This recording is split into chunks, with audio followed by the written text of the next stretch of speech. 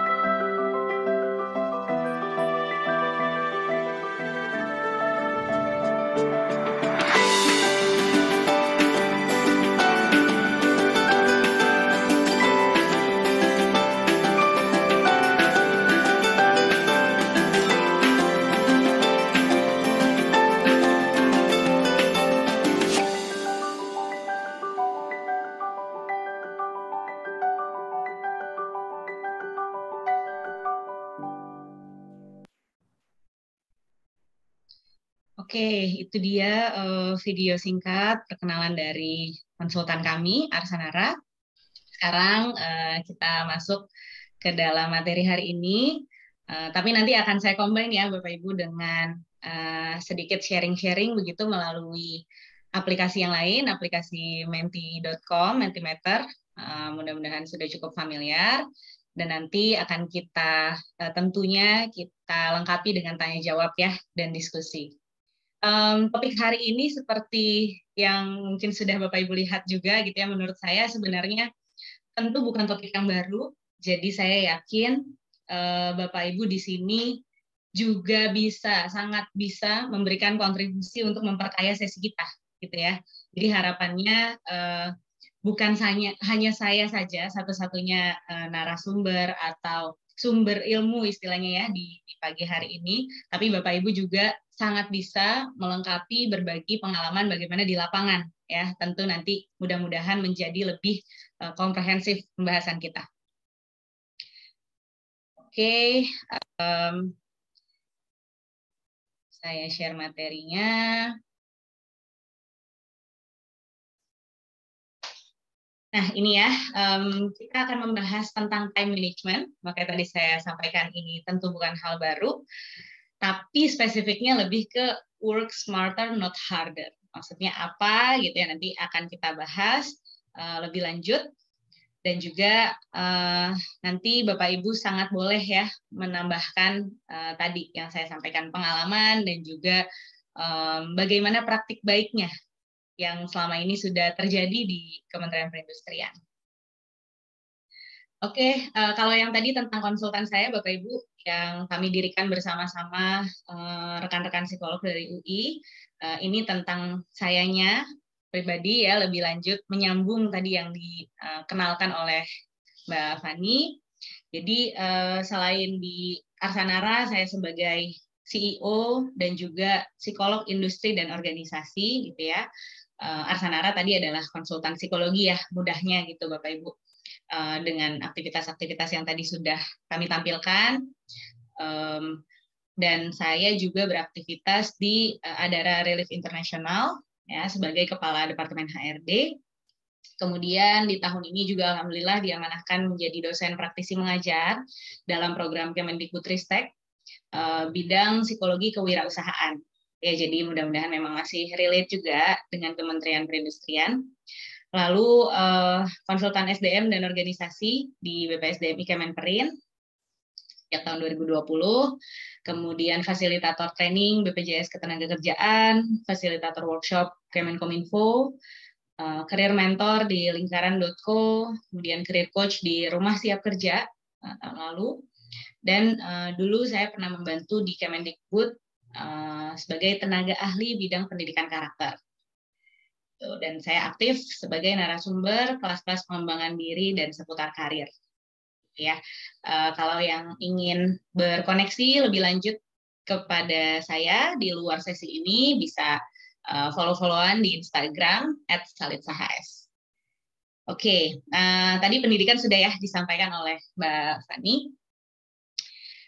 Dan um, ini sebenarnya tadi saya nyiapin ice breaking, tapi uh, sepertinya gitu ya karena partisipannya juga masih masuk terus, uh, saya izin skip aja. Uh, jadi perkenalannya lebih uh, melalui aktivitas berikutnya ya, Bapak Ibu, supaya lebih efisien waktu kita. Saya ingin sharing-sharing dulu dengan Bapak Ibu, ingin tahu lebih lanjut mengenai kondisi Bapak Ibu masing-masing. Ya, boleh ambil gawainya kalau yang sedang menggunakan laptop ya boleh pakai uh, handphonenya gitu ya. Ketik di uh, web browsernya www.menti.com. Oke, okay. www.menti.com. Kemudian nanti masukkan kode 4489015. Ya, 4489015. Saya izin uh, stop share, berganti ke Menti dulu ya.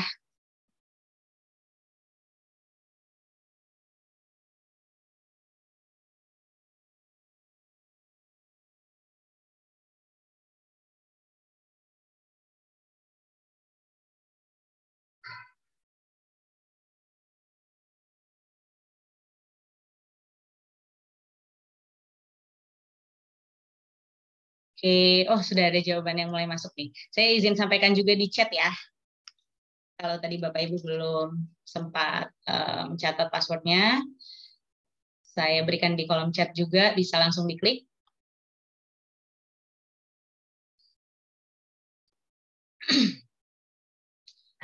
Oke. Nah, ini bagi yang uh, tadi kodenya sedang memasukkan gitu ya belum sempat selesai ada di bagian atas ya Bapak Ibu. Kodenya 4489015. Nah, di bagian bawah ini kita bisa lihat berapa orang partisipan yang sudah bergabung. Uh, kita di sini sudah mencapai 70-an orang ya. Jadi harapan saya bisa uh, lebih banyak lagi nih syukur-syukur minimal misalnya 50 angka gitu jadi bisa menggambarkan uh, kondisi rekan-rekan di Kemenperin. Bisa klik link yang ada di kolom chat yang saya bagikan atau ke menti.com lalu gunakan kode yang ada di atas layar ini ya. Oke, uh, sambil saya bacakan ya, sambil menunggu Bapak Ibu yang lain uh, on the way bergabung.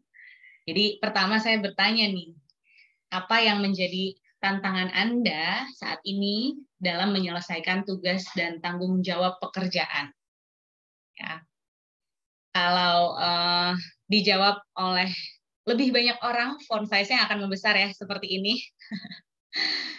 Tantangannya waktu ya, benar sekali ya Bapak Ibu. Ini kalau di kementerian-kementerian menjelang akhir tahun itu sepertinya semakin padat begitu ya, kita untuk menuntaskan segala Eh, target-target kerja tahunan kita.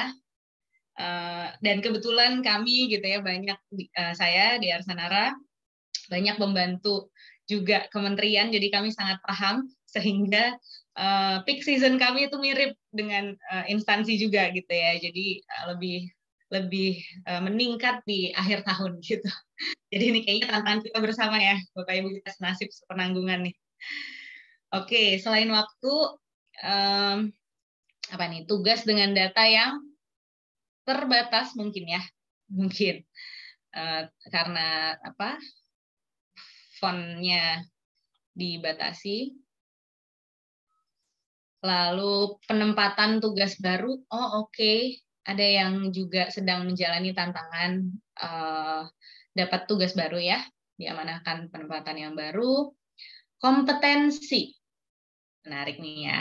Jadi uh, tantangan kita dalam menyelesaikan tugas dan tanggung jawab selain waktu itu sendiri ya bagaimana untuk kita optimalkan tapi juga masih ada yang merasa kompetensi jadi isu tentu kalau seandainya kompetensi sudah lebih mumpuni um, biasanya kita jauh lebih percaya diri mengerjakan tugas kualitasnya juga jadi lebih terjamin serta berkaitan juga dengan seberapa cepat kita menyelesaikan tugas tersebut Kemudian sarana dan prasarana.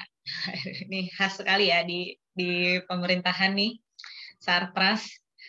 Lalu dikejar target penyelesaian, terbatasnya wewenang. Nah, ini juga um, bisa jadi isu ya.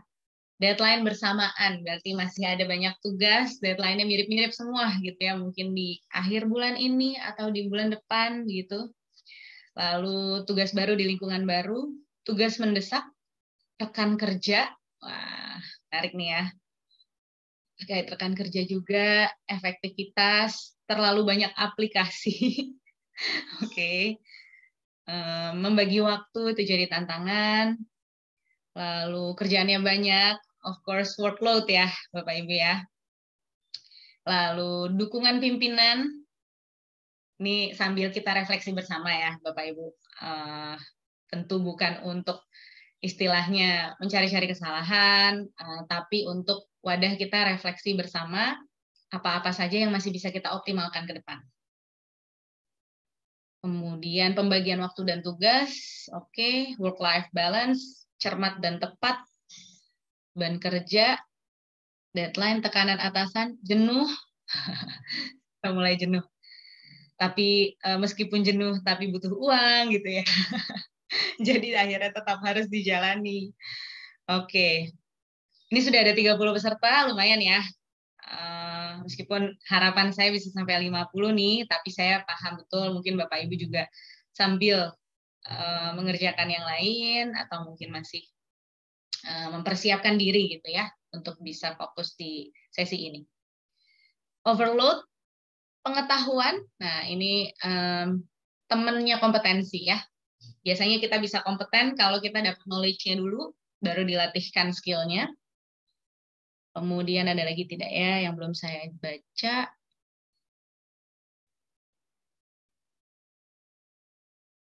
Oke, sepertinya yang lain mirip-mirip ya, temanya sama uh, dengan yang sudah saya sampaikan ini efektivitas juga jadi tantangan ya. Seberapa tercapai gitu, seberapa mencapai tujuan kalau efektif itu. Oke, terima kasih Bapak Ibu yang sudah berkontribusi menjawab. Uh, ada nih yang baru muncul nih, gue lagi, gue lagi gitu ya.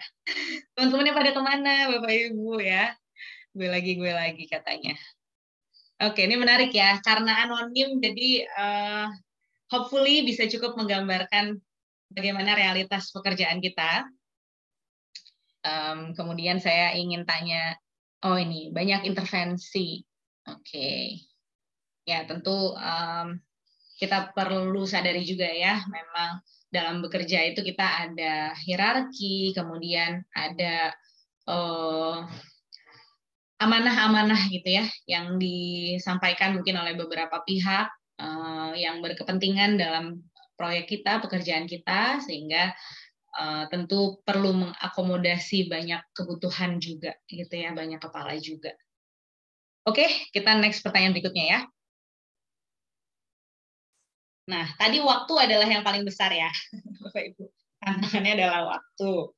Uh, apalagi ini sudah di Q4 gitu ya di tiga bulan terakhir sebelum kita menutup tahun 2022 sehingga saya ingin tanya nih sejauh ini gitu ya apa saja sih pemboros waktu terbesar bagi anda? Apa yang menurut bapak ibu uh, dalam keseharian itu cukup boros waktu? Medsos oke. Okay. medsos rapat. Mm -hmm, sangat make sense. Um, ya sebagai yang pernah juga bekerja di dalam kementerian gitu ya itu benar-benar undangan rapat di sana sini gitu ya. Belum ketika kita didelegasikan lagi uh, untuk menggantikan pimpinan kita ya. Jadi semakin banyak rapat. Hmm, as long as memang kita yakin bahwa kita relevan ada di rapat itu gitu ya. Lalu jarak rumah ke kantor ini saya sangat bisa berempat ini. Saya juga warga komuter gitu ya, tinggalnya di planet lain di Bekasi. Dan eh, kantor-kantor di Jakarta begitu ya, Bapak Ibu klien-klien juga di sana. Apalagi sekarang sudah semakin menuju normal kehidupan kita ya, meskipun masih bermasker tapi jalanan rasanya sudah tidak ada jarak gitu ya kalau uh, protokol kesehatan kan kita menjaga jarak individu gitu, tapi kalau di jalanan sepertinya sudah mepet-mepet lagi. Lalu ngobrol itu jadi pemboros waktu. Thank you for being honest ya.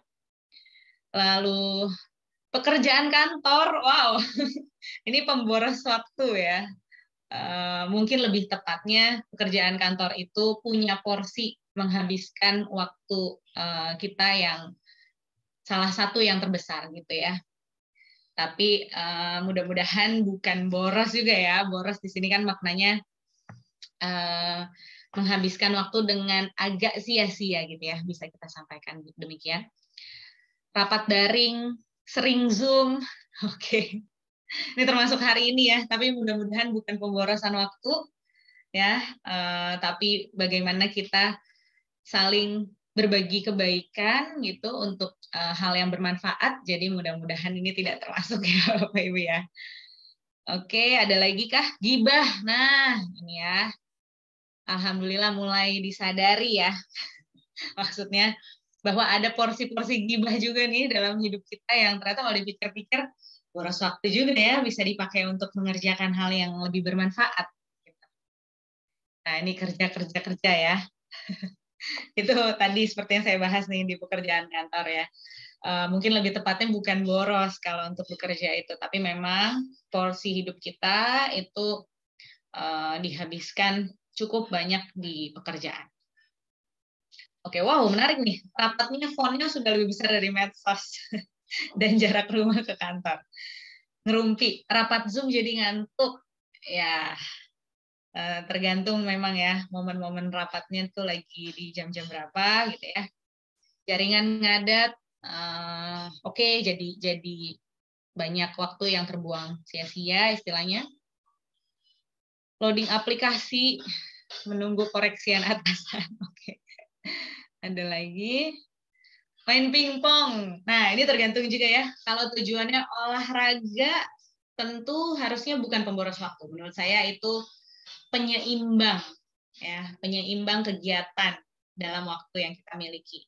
Apalagi kalau untuk kebugaran dan uh, refreshment ya, supaya kembali fresh lagi gitu. Nah, yang akan jadi pemboros waktu adalah main pingpongnya berapa lama, dan kalau kita sudah selesai main pingpong, apa yang kita lakukan gitu. Kongko-kongko kah sama teman-teman ya ngopi-ngopi gitu. Nah, hal itunya tuh yang perlu kita uh, review lagi ya, Bapak Ibu. Belum ada niat, oke jadi ngumpulin niat tuh harus waktu ya. Ada lagi kah? Internet lambat. Oke. Sisanya mirip-mirip ya, sudah di-input di sini. Oke, okay, last question. Oh, ada yang baru. Netflix. Nah, ini juga ya. Saingan kita nih. Saingan medsos kita Netflix ya. Main game. Nah, betul, betul, betul. Drakor. Oke. Okay. Ada lagi? TikTok. Nah, makin banyak ya. Keluar semua nama-nama aplikasi nih kayaknya.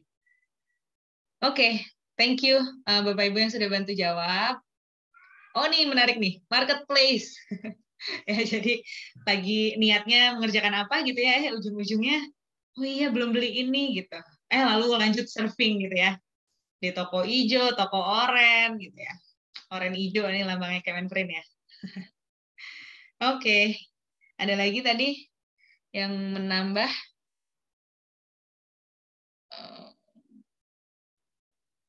main game ini tadi ya. Jaringan ngadat rekan kerja mengganggu. rekan kerjanya iseng-iseng ya. Sip, uh, satu pertanyaan terakhir sebelum ke materi. Nah, tadi kan Bapak Ibu sudah mengidentifikasi pemboros waktu versi masing-masing tentunya ya. Sekarang saya lanjut bertanya, apa saja yang sudah Anda lakukan untuk mengelola waktu tersebut ya dan tentu mengelola tugas-tugas kita. Silakan Bapak Ibu. Upaya yang sudah kita lakukan supaya gitu ya waktunya bisa dikelola sehingga tidak banyak borosnya begitu. Lembur. Oke. Karena banyaknya pekerjaan ya. Ini konkret sekali loh lembur yang dilakukan. Kemudian membuat daftar prioritas pekerjaan, very nice diniatkan ya ini relevan ya tadi bilang mengumpulkan niat jadi yang dilakukan adalah diniatkan. Buat jadwal oke okay, good. Bolos rapat oke. Okay. konotasinya mungkin agak negatif bolos ya cuman mungkin uh, bayangan saya nih barangkali lebih memprioritaskan gitu ya pekerjaan yang urgent uh, dibandingkan mungkin eh, rapat-rapat uh, yang um, peran kita mungkin tidak terlalu besar di sana gitu ya Hmm, tentu kalau ada pertimbangan-pertimbangan yang penting gitu ya. Lalu kerjakan dari yang paling mudah, good, sangat baik. Penjadwalan kegiatan sama ya. Membaca tulisan yang bermanfaat, oke. Okay. Uh, bayangan saya mungkin yang memotivasi juga gitu ya. Bangun lebih pagi, wah keren banget nih konkret ya. Kalau mepet banget minta bantuan teman, good konsentrasi dan tanggung jawab melaksanakan tugas, betul. Prioritas pekerjaan tadi mirip di atas. Mengatur jadwal, betul. To-do list, oke. Okay. Buat to-do list. Prioritas pekerjaan dan membuat list, oke. Okay. Siap disenggol bos kalau minta WLB atau work life balance ya. Oke, ini biasa ya isu-isu kepegawaian menjelang akhir tahun pekerjaan makin numpuk tapi cuti-cuti belum diambil gitu. bikin tambah galau. Sorry sorry. Jadi uh, apa kita lupa gitu ya memanage mungkin mengambil cuti-cuti kita sebelum tugas-tugas menumpuk gitu. Lalu menyelesaikan pekerjaan di rumah mm -mm, istilahnya bersedia bawa PR pulang ya. Niat bawa kerjaan ke rumah sama ya. Menyusun pekerjaan prioritas agar tidak ada waktu yang kosong. Oke keren sekali. Prioritas banyak tamu ini maksudnya apa nih yang sudah dilakukan untuk mengelola waktu dan tugas. Banyak tamu. Kira-kira apa nih relevansinya? Boleh ditambahkan lagi ya, Pak Ibu. Kerjakan dari deadline yang paling awal mengerjakan tugas di rumah. Nah, kan sesuai dugaan saya. Jadi eh, bahasan kita tidak akan jauh-jauh dari sini. Jadi saya yakin Bapak Ibu sebenarnya sudah uh, paham betul dan pasti sudah melakukan juga sifatnya refreshment ya. Refreshment dan juga pengayaan.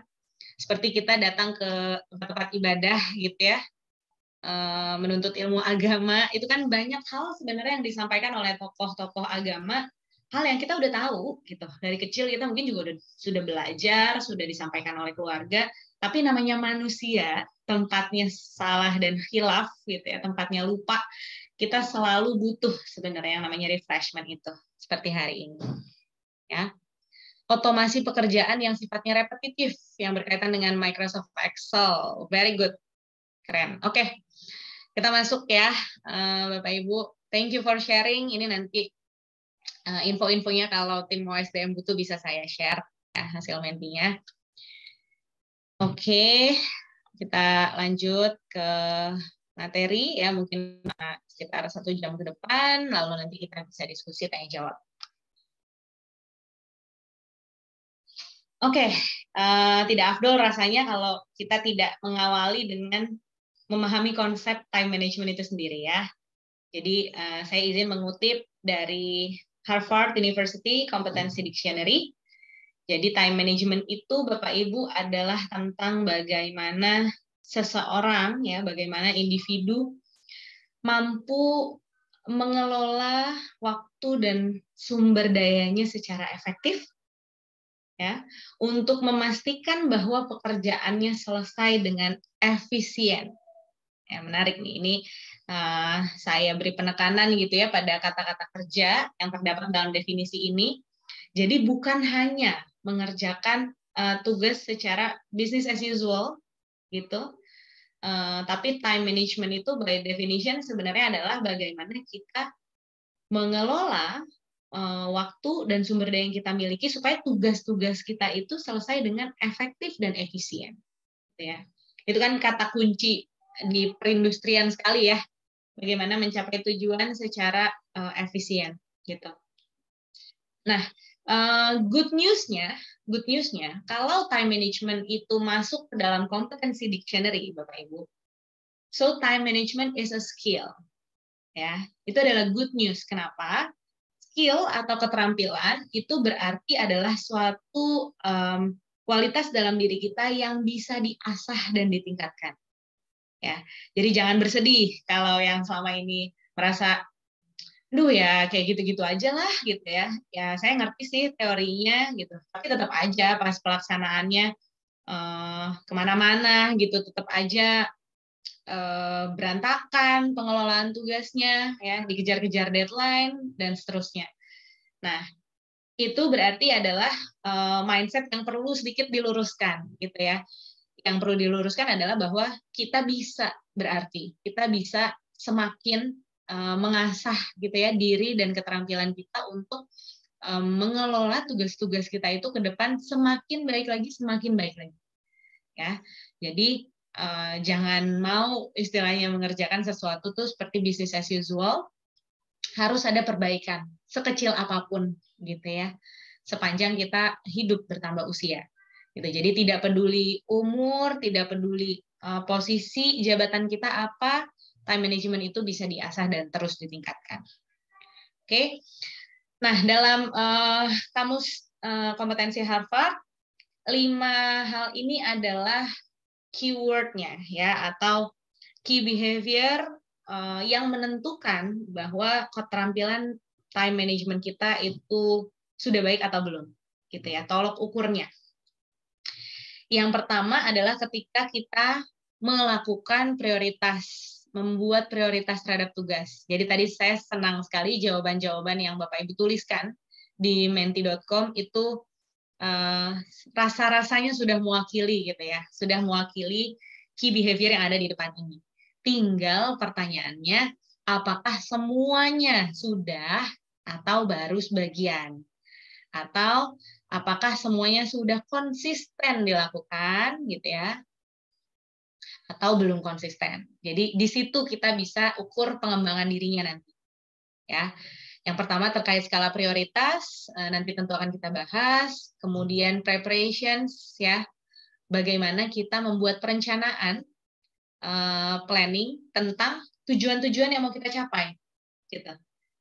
Kadang mungkin sering juga kita um, membuat tujuan gitu ya, perencanaan tahunan Oke, nama kegiatannya saja gitu yang terbayang atau yang masuk ke dalam uh, dokumen ya, rencana kerja dan seterusnya. Tapi persiapan dari masing-masing kegiatan tersebut seperti apa gitu. Seringnya itu yang dadakan gitu ya, seringnya itu yang begitu sudah mau mendekati um, waktu pelaksanaan kegiatannya, nah baru tuh kita sibuk persiapan gitu. Nah itu perlu kita review juga ya sejauh mana kekuatan planning kita. Tidak hanya ngeplot kegiatan A di tanggal berapa, kegiatan B di tanggal berapa, tapi bagaimana mencicil persiapan. Kemudian uh, schedule, ya tadi sudah banyak yang menuliskan membuat to-do list, ya, membuat jadwal, agenda. Uh, kalau kita punya banyak tugas yang perlu diselesaikan di minggu yang sama, bagaimana kita mengaturnya, mengatur jadwalnya, bagaimana kita uh, say yes datang ke rapat yang satu, rapat yang dua, dan seterusnya. Ya. Key behavior berikutnya adalah leverage resources ya atau optimalisasi sumber daya. Nah, tadi saya juga senang sekali di Menti Bapak Ibu sudah menuliskan um, jika kepepet minta bantuan teman itu sumber daya. Ya, jadi sumber daya itu uh, not only about us, nggak hanya tentang diri kita dan apa yang kita punya, ya. Akses informasi itu adalah sumber daya. Oke, kemudian atasan yang bisa memberikan arahan itu adalah sumber daya. Uh, informasi di internet yang mungkin dengan mudah bisa kita akses di kantor gitu ya, dengan uh, internet yang sudah disediakan, itu tentu adalah sumber daya. Lalu uh, tadi ada yang sampaikan juga ya membaca mungkin artikel-artikel yang bermanfaat itu juga sumber daya termasuk mudah-mudahan di uh, datang ke workshop webinar hari ini. Oke, okay? um, selanjutnya stay focus. Nah, ini yang kadang jadi kita apa ya lupakan mungkin ya atau uh, secara tidak sadar jadinya di nomor sekian kan gitu. Kita mungkin ngerti time management itu yang penting soal penjadwalan, bikin renstra, bikin uh, timeline kegiatan dan seterusnya, time frame. Tapi sering kali kita melaksanakannya itu multitasking, disambi macam-macam gitu ya. Sehingga saat uh, penyelenggaraannya itu kurang fokus gitu atau saat persiapannya. Sebenarnya nggak masalah kita punya beberapa tugas dalam satu waktu gitu, tapi tentu kita perlu ingat betul di masing-masing itu tuh apa uh, to-do list-nya atau apa kewajiban yang harus dipenuhi gitu ya. Supaya tidak tercampur-campur atau nanti biasanya kalau kita lagi mengerjakan satu tugas A lalu ada distraksi kita lupa tuh oh ya tadi si A ini mau diapain ya? Gitu. Nah ini yang agak uh, bahaya juga gitu ya Nah, uh, kenapa penting? Ya, tentu kita perlu terus mengingat uh, skill ini gitu ya, skill time management untuk membantu kita bekerja. Tadi keywordnya ya, saya ulang lagi, lebih efektif dan efisien. Ya, jadi kerja bukan hanya sekadar menyelesaikan, tapi seberapa efektif dan efisien pekerjaan-pekerjaan kita itu dengan cara membuat skala prioritas tentunya. Ya, lalu dapat terhindar dari stres kerja. Ini uh, mungkin secara logika um, biasa atau mudah dicerna gitu ya, tapi kita mungkin nggak sadar bahwa tumpukan-tumpukan pekerjaan itu secara tidak langsung gitu ya menimbulkan uh, stres dalam diri kita yang menumpuk gitu. Karena stres kerja itu memang faktor pemicunya ya tentu dari lingkungan pekerjaan gitu ya. Tapi kalau lingkungan pekerjaannya sebenarnya baik-baik saja, uh, tidak ada konflik, atau minim lah minim gesekan ya. Terus uh, sumber daya memadai kompetensi ada. Itu biasanya memang yang paling mengerucut akhirnya adalah bagaimana workload gitu. Sebagus apa pun uh, kapal bapak ibu ya sebagus apa pun desainnya dibuat sedemikian rupa satu kendaraan tapi kalau bebannya melebihi dari yang seharusnya tetap tentu akan berbahaya ya tentu dia akan goyah, tentu dia akan akhirnya melemah, kemudian tidak efektif lagi. Yang harusnya uh, satu kendaraan ini misalnya mengangkut kita dari pulau uh, A ke pulau B gitu ya, mau menyeberang, tapi karena terlalu banyak ya, tidak kita cicil sesuai dengan kapasitasnya, ketika dalam satu waktu terlalu banyak, itu di tengah-tengah dia bisa akhirnya karam gitu ya, tenggelam. Bukannya selesai, tugasnya malah berantakan semua. Antara sakit kah? Gitu kan ada ya kadang di medsos berkeliaran gitu. Kerja kerja kerja tipes. Belakangnya tipes. Gitu. Nah ini hati-hati karena jangan sampai kita diri sendiri yang akhirnya membuat um, tidak tidak ramah atau tidak sehat untuk diri kita pribadi ya. Jadi jangan sampai biang keroknya tuh adalah kita sendiri oke okay? Nah, dengan manajemen waktu, kita jadi bisa mengontrol setiap tugas dan mengantisipasi bebannya. Jadi, bukan berarti kalau seandainya uh, suatu tugas itu gagal, itu maknanya sudah pasti gitu, equals to individu yang tidak kompeten. No, tidak. Tapi kita perlu lihat konteksnya. Bagaimana individu itu mengelola tugas-tugas kesehariannya. Ada beban-beban apa saja gitu ya. Seperti tadi saya menganalogikan Eh, kapal yang mengangkut eh, muatan eh, barang atau penumpang gitu ya sebagus apa pun teknologinya mereka punya kapasitas gitu. Jadi bukan berarti kualitasnya akhirnya kita bilang oh jelek nih kapalnya. Enggak tapi kita menempatkan beban terlalu banyak terlalu besar di dalam di atas kapal tersebut gitu ya Nah, jadi uh, kita perlu time management tentu untuk menjadi lebih produktif dan harapannya mengurangi prokrastinasi. Nah, ini memang isu banyak orang di uh, Indonesia ya, atau mungkin sebagai manusia gitu ya, isu manusiawi itu namanya prokrastinasi itu menunda-nunda pekerjaan gitu ya Bapak Ibu. Kenapa sih biasanya kita tuh menunda? Intensinya tuh karena kita tahu kalau bukan besok deadline-nya, misalnya gitu kita tahu kalau oh masih bisa uh, nanti gitu ya. Nah akhirnya jadinya kita menggampangkan gitu atau tidak uh, tidak mencicil sehingga yang yang tidak diharapkan adalah tidak selesai di waktu yang ditentukan gitu ya. Nah ini uh, pentingnya untuk kita membahas isu ini pagi ini ya Pak Ibu. Oke, nah jadi kalau kita lihat konsepnya sebenarnya mengelola waktu itu lebih dari sekadar mengelola agenda-agenda. Ya. Tidak hanya soal penjadwalan. Tapi lebih jauh lagi mengelola waktu itu adalah soal mengelola diri nih Bapak Ibu. Ya. Mengelola diri kita sendiri terhadap pemanfaatan waktu. Tadi kita udah bahas ya, masing-masing menjawab pemborosan waktu menurut dirinya ya versi uh, pribadi masing-masing itu apa saja. Nah, seberapa kita bisa kelola tuh daya tarik uh, bergosip ya daya tarik nonton drakor berlebihan nonton Netflix ya apalagi tadi ya. Hmm, ngobrol-ngobrol ngerumpi ya tadi ada yang nyebut ngerumpi. Oke mungkin bukan ngomongin orang atau bukan gibah tapi ngobrol ngalor ngidul gitu sehingga jam makan siang kita tidak terasa oh masuk-masuk jam 2 gitu ya.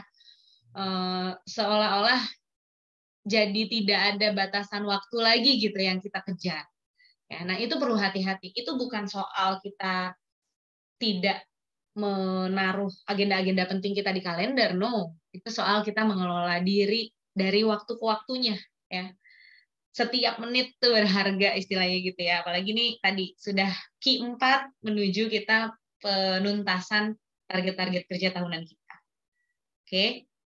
Jadi ternyata mengelola waktu itu juga berhubungan dengan bagaimana kita secara individu itu punya keinginan untuk mencoba berbagai hal atau ide supaya bisa memperoleh cara yang paling sesuai ya, cara paling efektif dan efisien sehingga optimal dalam mengelola dan memanfaatkan waktu. Oke. Sehingga kita berpikir uh, kreatif dan inovatif itu ternyata bisa berkontribusi terhadap pengelolaan waktu yang jauh lebih efisien.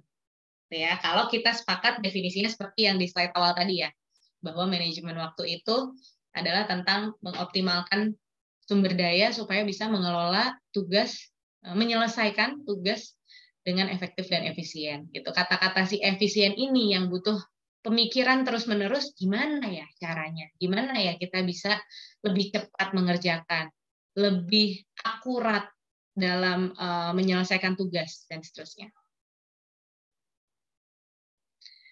Oke, nah bicara prioritas gitu ya, sebagai tadi key behavior pertama ya di manajemen waktu, itu ada kurang lebih enam ya six golden rules dari setting priority. Antara lain sebagai berikut. Yang pertama soal penetapan tujuan jangka panjang ya, big uh, goals-nya apa dan mana yang harus dilakukan lebih dulu. Ya, Eh, prioritas tuh namanya juga memprioritaskan tuh berarti membagi ya, memilah mana yang duluan, mana yang belakangan. Tadi sudah dimention juga di Menti, jadi uh, saya rasa sudah dilakukan oleh Bapak Ibu. Lalu jangan lupa nomor duanya, dibagi, dipecah-pecah jadi pekerjaan yang lebih kecil. Ya, kalau kita membayangkan satu kegiatan besar yang akan dilaksanakan, tentu terasa bebannya tuh berat, gitu ya misalnya menyelenggarakan hmm, kegiatan asesmen satu kementerian gitu. Oh itu kan besar ya, berat. Tapi kalau kita pecah jadi yang lebih kecil-kecil, misalnya eh, mencari dan menghubungi beberapa vendor gitu. Itu jadi timeline harian tuh. Kemudian memilah-milih proposal yang relevan misalnya. Kemudian uh, membuat jadwal pelaksanaan asesmen gitu ya, divisi unit mana dulu yang akan uh, wawancara hari ini dan seterusnya misalnya. Ketika targetnya jadi target harian yang ketika dibaca oh ini mah mudah tinggal follow up. Oh, ini mah tinggal bikin tabel di Excel dan seterusnya. Itu bebannya jadi lebih kecil juga tentu gitu ya. Dan jadi lebih konkret. Bukan bingung mulai dari mana yang ngerjainnya. Gitu. Jadi memecah tugas jadi bagian kecil itu juga penting. Ya, sehingga kita mengalokasikan waktunya itu bukan time frame yang panjang. Oke, kita harus melaksanakan kegiatan tersebut di tiga bulan lagi, bukan gitu. Tapi apa yang kita lakukan minggu ini, minggu dua, minggu tiga, minggu empat dan seterusnya. Ya. Berikutnya targetnya spesifik gitu dan dapat diukur. Misalnya eh, tadi memilih vendor gitu misalnya ya. Berapa vendor yang kita target mau di approach dulu di awal gitu.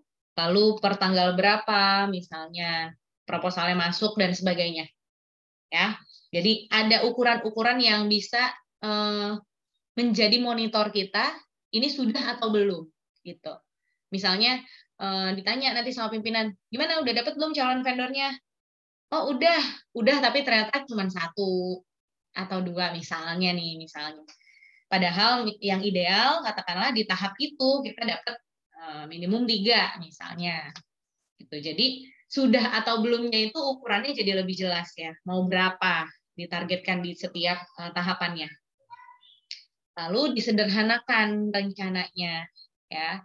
Tidak perlu istilahnya yang eh, ruwet-ruwet gitu. Yang simpel-simpel aja dulu. Kalau waktu terbatas oh ya udah hubungi aja yang kita misalnya memang sudah ada koneksi jadi lebih mudah bukan approach lagi dari awal gitu ya kecuali ada specific needs yang kita perlu uh, tuju kita perlu gali gitu lalu jangan lupa diukur capaian targetnya tadi yang sudah dibuat secara spesifik itu dan bersikap adaptif ya karena sering kali kita semua pasti mengalami gitu ya dalam keseharian bekerja itu banyak perubahan-perubahan ya. Tadi ada yang menyampaikan juga banyak intervensi dan seterusnya sehingga memang uh, menjadi adaptif, being flexible is a must juga ya di masa sekarang ini gitu.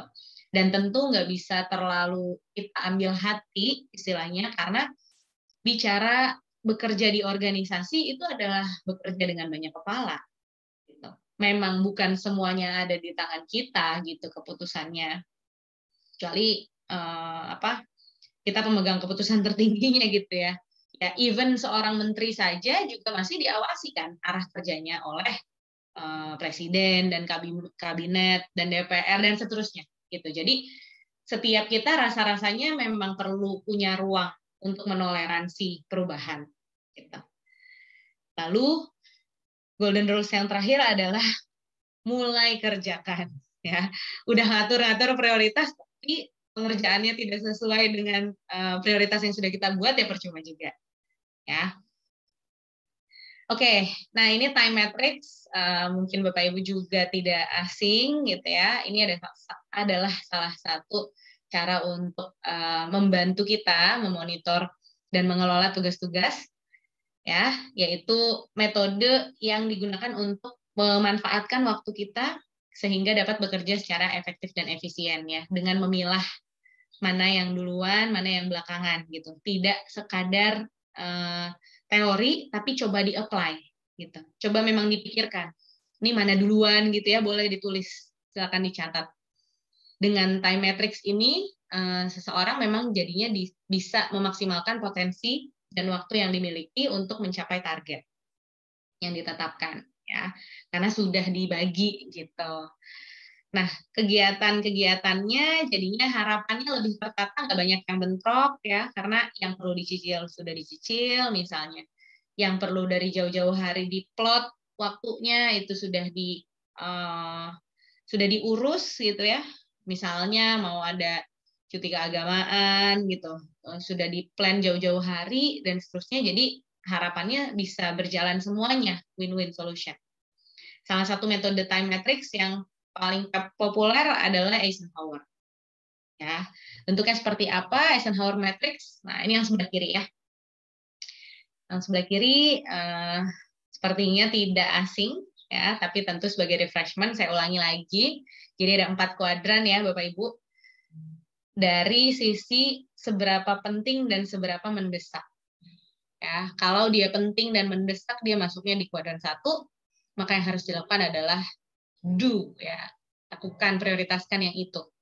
Lalu kalau dia penting tapi tidak mendesak, maka bisa kita plan, bisa kita rencanakan, dan kita tadi pecah-pecah ya, milestone-nya jadi kecil-kecil, bagaimana mencicil, itu bisa di kuadran dua. Kemudian eh, kuadran tiganya itu tidak terlalu penting untuk diri kita pribadi, ya tapi mendesak gitu. Biasanya, biasanya ini berkaitan dengan tuntutan dari luar diri ya atau orang lain. Dan yang keempat, tidak penting dan tidak mendesak saat ini sehingga di saat ini bisa kita eliminate atau uh, mau kita pending juga boleh ya kita uh, alihkan ke waktu yang lain contohnya ini contohnya ya mungkin bapak ibu boleh uh, ambil lagi device-nya, gawainya, atau mau coret-coret aja kertas yang dekat di meja gitu ya. Misalnya saya tulis lima ini nih di depan. Lima hal di sisi yang kanan ya. Eh, Bapak Ibu boleh lihat ke layar sambil menuliskan urutan angkanya misalnya. Ini masing-masing tentu eh, bisa saja berbeda ya. Karena kan derajat kepentingan satu tugas bagi individu yang satu dan yang lain bisa berbeda. Nah, ketika misalnya ada uh, kebutuhan dalam waktu tertentu mengerjakan sholat atau ibadah, ya, lalu perlu menyelesaikan tugas untuk deadline yang pekan depan, kemudian menonton drama series, melanjutkan gitu ya, kita lagi ada di tengah-tengah uh, episode gitu, terus ini malam ini keluar episode baru nih gitu. Lalu yang keempat, mengerjakan tugas dadakan dari atasan. Ya, misalnya dalam di hari itu tiba-tiba di uh, delegasikan tugas baru yang mendadak dan memasak untuk keluarga. misalnya.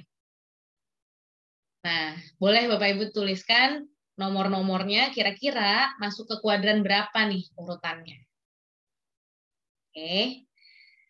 Di diri masing-masing nih kira-kira uh, urutan angkanya bagaimana? Ini kalau yang nomor satu uh, bagi yang muslim misalnya sholat gitu ya. Bagi yang non muslim uh, agama yang lain mungkin barangkali bisa bayangkan ibadah penting gitu ya. Ibadah keagamaan yang uh, besar.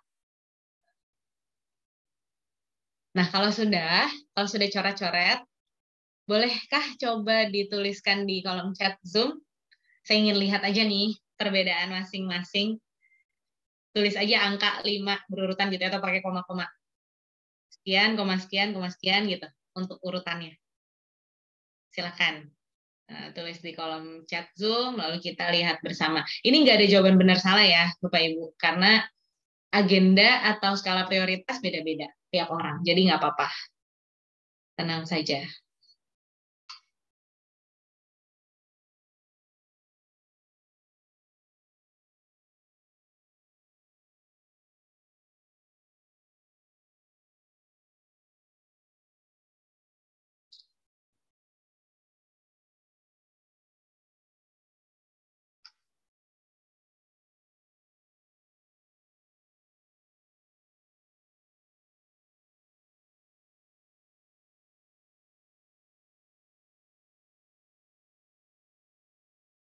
Oke, bagi yang sudah boleh di copy gitu ya, boleh ditulis di kolom chat, eh, chat Zoom mengenai urutan angkanya. Kita lihat apakah ada perbedaan. Oke, terima kasih ada yang sudah memasukkan angkanya. 11411. Semuanya high priority ya. Pak Rizwan Bintang. Thank you, Pak, untuk jawabannya. Bagaimana dengan yang lain? Berbedakah prioritasnya? Jadi ini kalau sama-sama satu gitu ya, habis uh, beribadah, terus menyelesaikan tugas, semuanya harus langsung ya, tek tek tek tek di waktu yang sama. Lalu kerjakan tugas dadakan juga, memasak juga di waktu yang sama, gitu ya. Oke, ada Bu Laila. Satu, dua, tiga, satu, dua. Nah, menarik nih ya, beda-beda nih. Satu, ya ibadah dulu. Dua, uh, tugas untuk pekan depannya bisa di-plan gitu ya. Uh, bisa direncanakan kemudian. Lalu nonton dramanya. Tiga, yakin Bu, di delegasi. Jadi gak usah aku deh, kamu kamu yang nontonin nanti cerita ya gitu. Atau yang mana nih?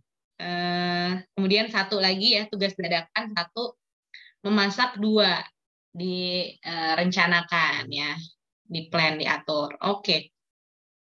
Lalu Pak Agung ibadah satu menyelesaikan tugas pekan depan dua di plan drama series di plan oke lalu tugas dadakannya tiga di delegasi memasak dua di plan oke menarik ya beda-beda ya lalu uh,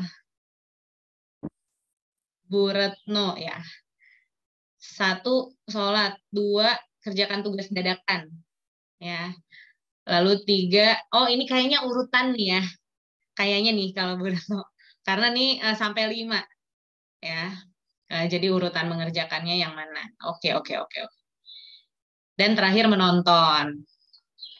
Nah Pak Dadang juga ya Pak Dadang uh, sepertinya urutan ya Pak ya. Bu Astrid, oke. Okay. Bu Astrid pakainya di, uh, diagram ya, kuadran. Satu ibadah, uh, tugas deadline-nya pekan depan bisa di plan di kuadran dua. Drama series bisa di plan. Satu, uh, mengerjakan tugas dadakan ya, itu diprioritaskan juga. Tiga, kuadran tiga delegate untuk masak. Bisa ganti pakai GoFood aja lah. Siap, Bu Astrid kayaknya perlu perlu tos sama saya nih, Bu. Karena ini ini bebas ya Bapak Ibu, ini masing-masing sesuai kebutuhan. Karena saya juga nomor tiganya akan saya delegate kepada Mbak atau tukang ojek ya yang mengambil makanan. Oh, ini di, diperbaiki nih. Satu, dua, empat, satu, tiga. Wow, luar biasa. Persis ya, seperti saya tos juga nih untuk Bu Retno. Oke, jadi ini nggak ada benar salah ya Bapak Ibu, saya ulangi lagi disclaimer-nya. Uh, tapi kita bisa bahas nih, kita bisa bahas sama-sama.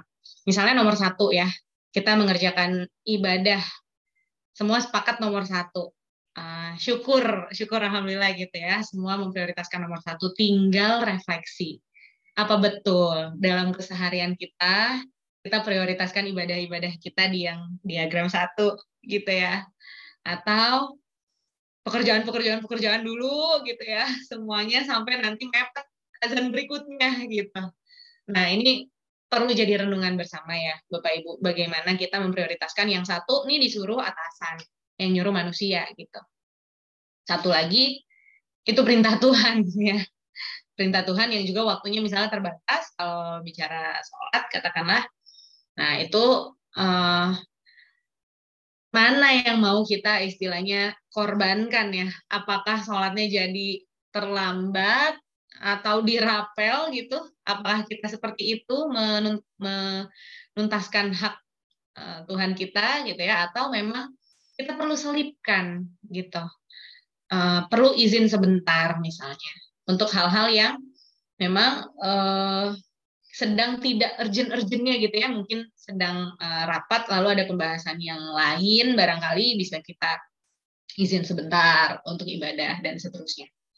Oke, nah ini perlu jadi renungan bersama ya, karena saya pun gitu ya tentu uh, bukan malaikat, gak suci-suci banget gitu ya Bapak Ibu, tapi saya butuh untuk terus diingatkan juga gitu um, bahwa oke okay, kita ini bekerja untuk apa ya sebenarnya? Untuk siapa ya kita? Kita bekerja secara material oke okay, untuk keluarga, tapi secara esensinya gitu, bukankah kita kerja untuk ibadah gitu ya? Nah, jadi jangan sampai ibadah-ibadah wajib lainnya itu kita tinggalkan. Oke, okay, berikutnya uh, tugas deadline pekan depan kalau versi saya gitu ya bisa masuk ke diagram dua nih, kuadran dua, sorry. Kuadran dua di plan, oke okay, kita mau nyicil apanya dulu nih di, di pekan ini, uh, di hari mana-mana saja yang agak lowong gitu ya. Kalau butuh rapat, oke okay, berarti kita buat janji untuk merapatkan uh, membahas agenda di pekan depan tersebut gitu ya sebelum nanti mungkin hari H kita rapat dengan pimpinan kita perlu rapat dulu di tim kecil dan seterusnya jadi kita plan, kita tadi jangan lupa pecah jadi hal yang kecil-kecil, lalu sederhanakan apa yang bisa disederhanakan eh, cara kerjanya. Kemudian uh, menonton drama series untuk saat ini misalnya ya bisa saya tulis di empat dulu. Dan boleh tadi ada rekan-rekan kita yang menulis di kolom dua ya. Boleh kok itu juga bagian dari uh, refreshing asalkan tidak berlebihan ya. Apa pun apa pun itu kan kalau berlebihan juga tidak baik olahraga olahraga positif. Tapi kalau berlebihan juga nggak baik jadi over exercise ya. Kerja juga kerja positif. Uh, tapi kalau berlebihan kan juga tidak baik. Jadi perlu diimbangkan dengan kebutuhan diri yang lain. Oke? Okay?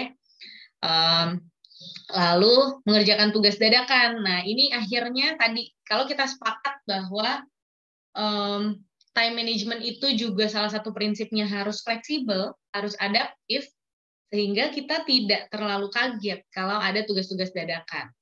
Bukankah itu yang lumrah gitu ya? Bukankah hal yang pasti dalam kehidupan ini adalah perubahan itu sendiri? Ya, kita sudah ngeplan, kita sedang mengerjakan apa, eh tiba-tiba datang tugas yang lain, dadakan. Itu itu lumrah Bapak Ibu semua mengalami kok. Gitu ya. Jadi kita tadi perlu punya ruang untuk menoleransi sesuatu ya yang berubah dalam agenda kita dalam hidup kita. Jadi perlu kita oke okay, prioritaskan dulu gitu. Yang masih agak aman untuk di pending masih bisa gitu ya. Itu bisa geser dulu kedua misalnya. Dikerjakannya setelah ini gitu ya atau dikerjakannya besok. Nah, jadi saya sering kali gitu kalau uh, lagi uh, koordinasi gitu ya dengan klien, dengan tim, dengan atasan. Pertanyaan saya, deadline-nya kapan, Pak Bu? Harapannya gitu. Sehingga kita tahu ekspektasinya kalau ada hal-hal urgent lain, si deadline itu masih aman atau tidak gitu ya. Kita tempatkan di di waktu yang lain gitu. Dan yang ketiga, memasak untuk keluarga. saya tadi tim yang delegate aja lah gitu. Kalau lagi sibuk-sibuknya nih kayak sekarang, saya berapa kali izin sama suami gitu. Uh, mas maaf ya gitu, lagi padat banget dan dia udah paham banget pekerjaan saya sebagai konsultan.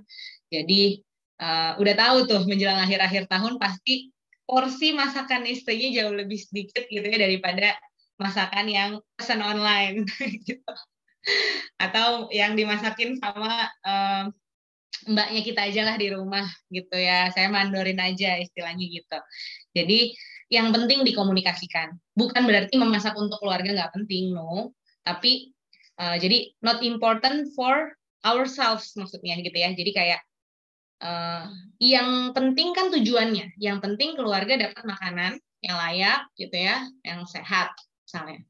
Nah, gimana kita memastikan di waktu-waktu anggota keluarga perlu makan, kita misalnya sebagai hmm, orang tua menyiapkan gitu, memikirkan ini anggota keluarga makan apa. Ya, jadi bukan juga tidak kita pikirin sama sekali gitu, tapi kita cari solusi. Mana yang bisa kita delegate gitu. Kalau pekerjaan-pekerjaan yang sedang ada di timeline kita tidak urgent-urgent banget istilahnya, masih ada waktu untuk masak dan itu bisa jadi hobi kita atau tempat kita rilis stress and do it gitu. Nggak apa-apa boleh sekali. Ini kan tiap orang beda ya. Kalau saya saya tidak terlalu dapat enjoymentnya gitu ya kalau masak. Maksudnya uh, saya happy kalau habis menghasilkan masakan dan bisa dinikmati gitu ya dibilang enak sama uh, suami sama anak tapi uh, tidak akhirnya menggantikan ke apa ya kepuasan yang sebegitu besar gitu dibandingkan pekerjaan-pekerjaan saya bisa tuntas dan uh, keluarga makan enak gitu ya. Jadi energinya di save gitu.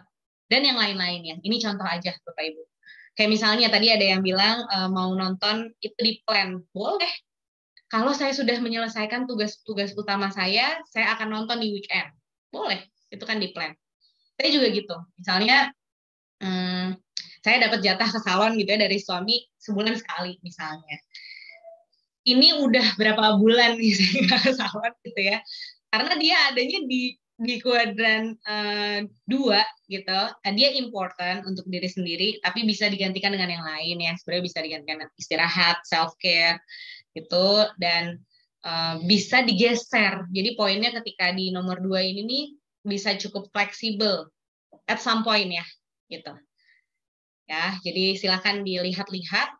Nah, ini penjelasan lebih detailnya tentang uh, kuadran-kuadrannya ya. Jadi yang penting dan mendesak itu adalah aktivitas yang harus dikerjakan sesegera mungkin karena terikat dengan tenggat waktu yang sempit.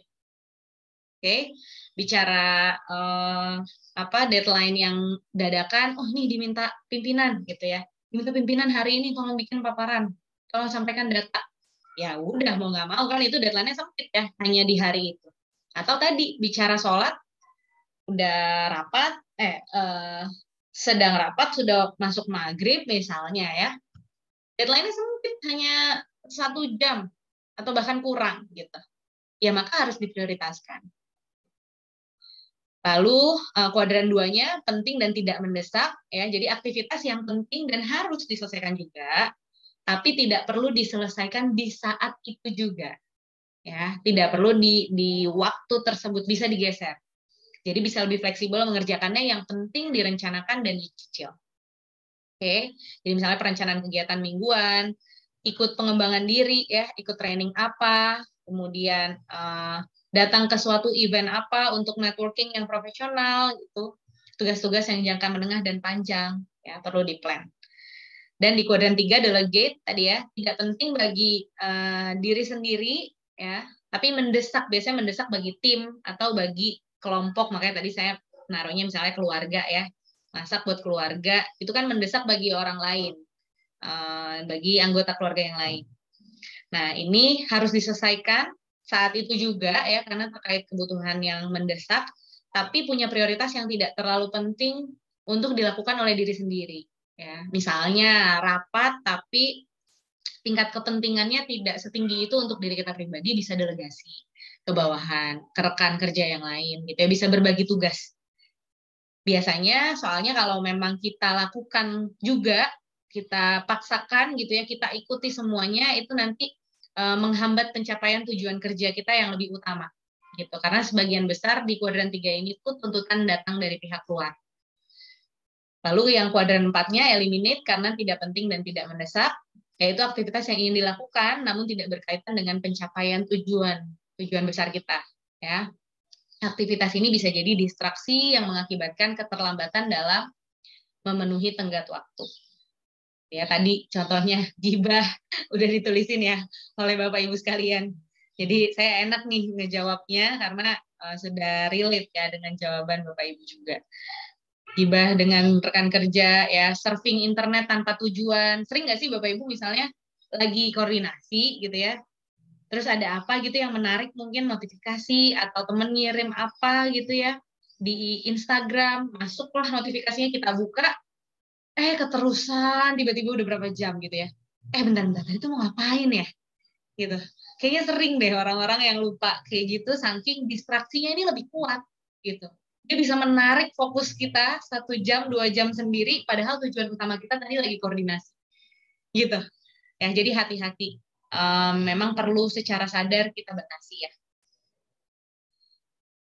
Oke nah sekarang gimana untuk bisa gak sering sih tapi pernah.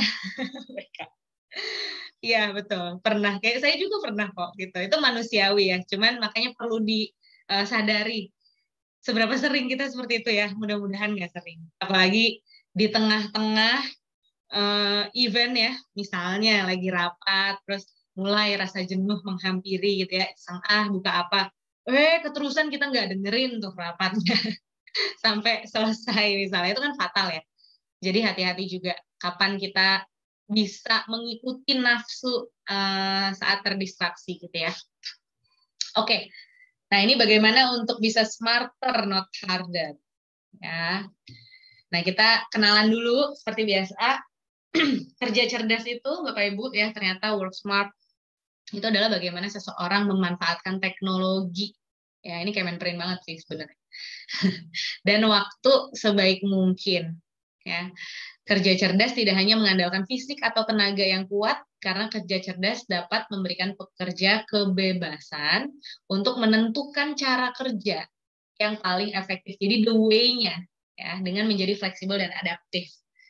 Oke, jadi uh, bagaimana kerja cerdas itu analoginya gitu ya kita menggeser titik tumpu gitu. Ini misalnya nih ada uh, diagram apa satu garis gitu ya spektrum terus di sini kemudian ada uh, tenaga fisik gitu misalnya ya terus di sini nanti ada teknologi gitu. Aplikasi tadi ada yang sebut ya banyak bekerja dengan banyak aplikasi. Nah uh, kita bagaimana menggeser titik tumpuan kita di tempat yang efektif jadi cukup bisa mengcombine hal-hal di luar diri kita yang menjadi resources untuk kita optimalkan sehingga tidak membebani mayoritas di tenaga fisik kita gitu. Mungkin sekian porsinya kognitif gitu ya, lebih kreatif dan seterusnya. Itu adalah kerja cerdas ya. Jadi kita memanfaatkan berbagai sumber daya untuk memunculkan, melahirkan cara-cara kerja baru gitu, yang lebih efisien untuk kita menuntaskan pekerjaan. Nah, bedanya apa dengan kerja cer, uh, kerja keras ya, kerja cerdas dengan kerja keras.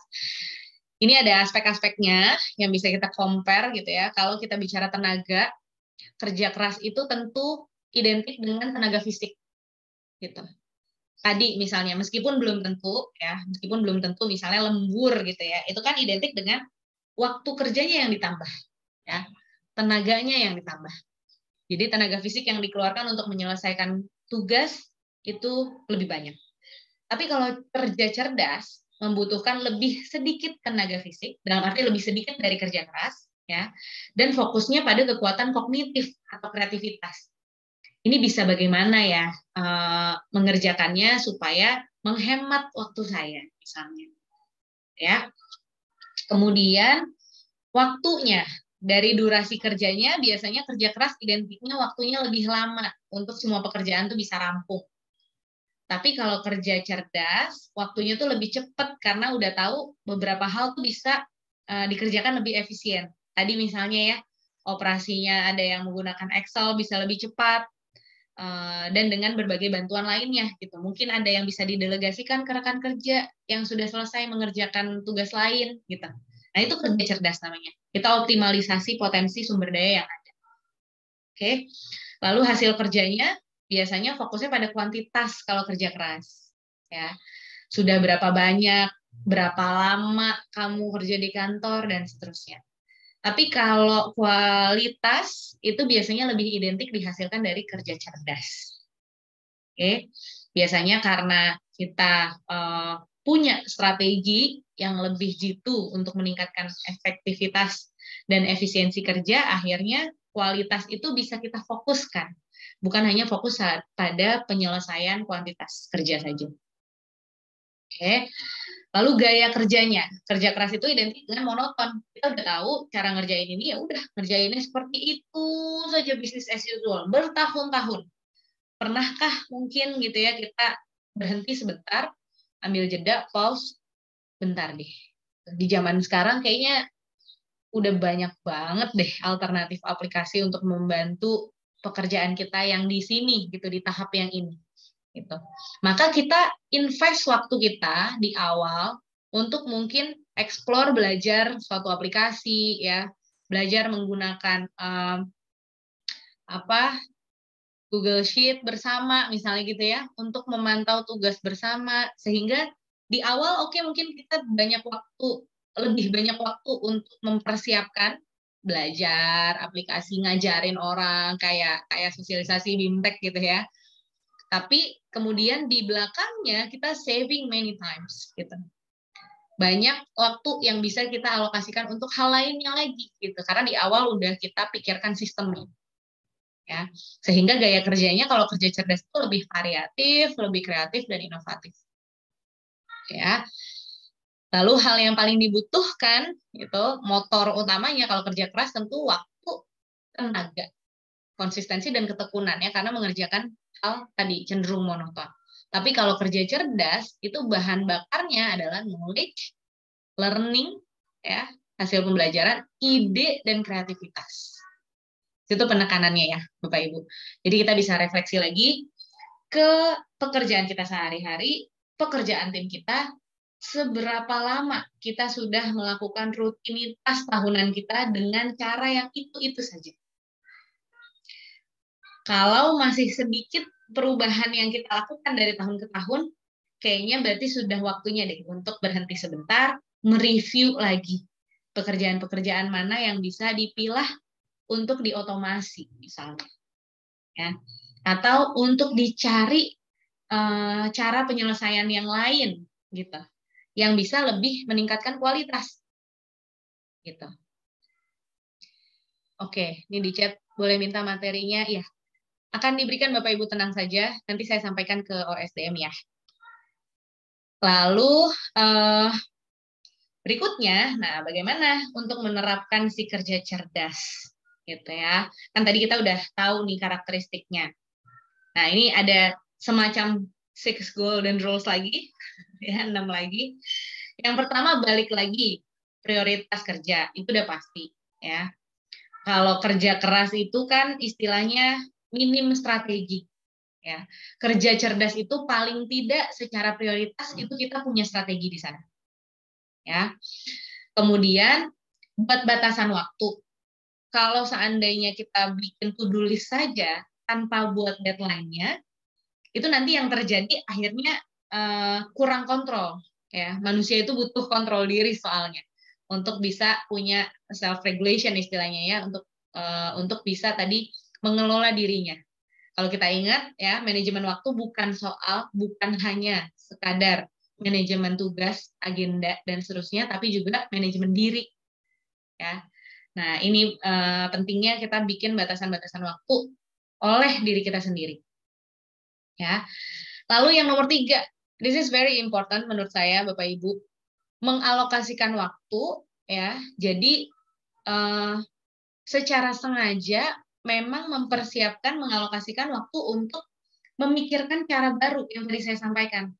Mungkin sudah saatnya gitu ya ya saat uh, rapat kerja atau mungkin saat periode periode-periode anggaran belum turun gitu ya di awal-awal tahun kita bisa fokus ke strategi gitu tidak hanya soal tadi penempatan uh, agenda kapan kegiatan apa mau dilaksanakan bulan apa dan seterusnya tapi soal the way bagaimana approach kita terhadap pelaksanaan kegiatan tersebut gitu. Nah ini jadi penting nih karena kalau kita udah tahu rumusnya kerja cerdas gitu ya, berarti kita harusnya mengapresiasi, menghargai proses penyusunan penajaman ide-ide dulu di awal gitu. Ada alternatif cara apa saja kah untuk menyelenggarakan satu kegiatan gitu ya.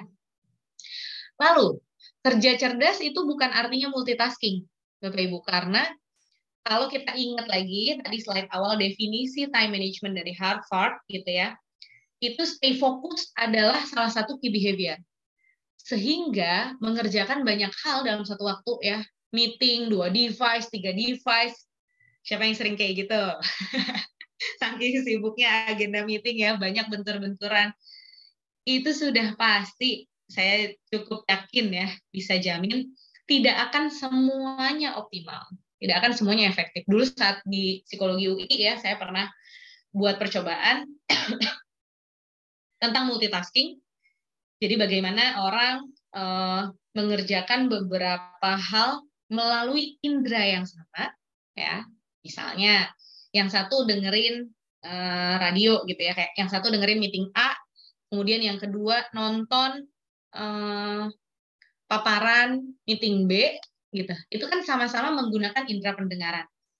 Itu yang dilakukan oleh manusia secara uh, lumrahnya gitu ya, secara fisiologisnya adalah melakukan selective attention. Gak bisa kita dengerin satu info, otaknya kan cuma satu. Gak bisa tuh dua-duanya masuk, lalu dua-duanya kita paham sama rapat keduanya. No, pasti kita melakukan selective attention. Jadi, alih-alih hmm, pakai dua device, tiga device gitu ya, lebih baik pikirkan delegasi tugasnya mau ke siapa gitu supaya nanti optimal semuanya begitu rapat tim bisa menyampaikan masing-masing itu lebih efektif gitu. Itu lebih kerja cerdas. Kalau semuanya digabung jadi satu atau misalnya ya tab komputernya banyak banget gitu ya. Tapi itu tugas yang beda-beda beda semua. Nah itu biasanya kita rentan nanti salah buka tab lah memperlama waktu. Oh ini bukan yang ini filenya gitu ya. Tapi semuanya kita bukain. Mendingan fokus dulu satu pekerjaan, lalu selesai, tuntas, baru kita buka lagi tab berikutnya yang sudah selesai, kita close-close, dan seterusnya. Gitu. Itu lebih efektif dan meminimalisasi kesalahan. Jadi lebih fokus. Ya. Nah, lalu kerja cerdas juga identik dengan fast response. Oke, jadi misalnya lagi ada isu apa di luar ya, kerja cerdas itu kita mengawinkan wawasan dengan kebiasaan. Oh oke, okay. atasan menyampaikan gini, oh ternyata ada perubahan rencana di instansi gitu ya. Itu fast response, kita sigap gitu, cepat tanggap. Itu juga kerja cerdas. Kemudian berkomunikasi dengan terbuka dan asertif khususnya untuk tugas-tugas tim gitu ya, berkelompok harus sangat terbuka. Ingat kita perlu me, eh, menghadirkan space toleransi gitu ya dalam pekerjaan kita kita perlu agile, jadi kita perlu terbuka juga dengan masukan-masukan, perubahan-perubahan supaya solusinya nanti solusi uh, kerjanya itu semakin tajam, semakin cerdas gitu. Gak bisa kita hanya mengandalkan satu uh, pikiran kita sendiri gitu ya untuk menuntaskan tugas. Oke, okay, uh, eh, nah ini kalau kelebihannya ya, mungkin ya pastinya udah tahu semua ya kalau kita kerjanya cerdas itu tadi merangkum penjelasan-penjelasan saya di slide sebelumnya, produktivitasnya meningkat harusnya ya karena pekerjaannya itu lebih efektif dilakukannya tidak scattered kalau scattered multitasking bersama-sama itu bisa jadi kualitasnya sebenarnya segitu aja ya kayak bisnis as usual aja menyelesaikan sekadar menyelesaikan tapi bukan uh, dengan performance yang oke okay, gitu. Lalu kepuasan kerja secara personal gitu ya, secara psikologis jadi lebih tinggi. Kita merasa punya kontrol.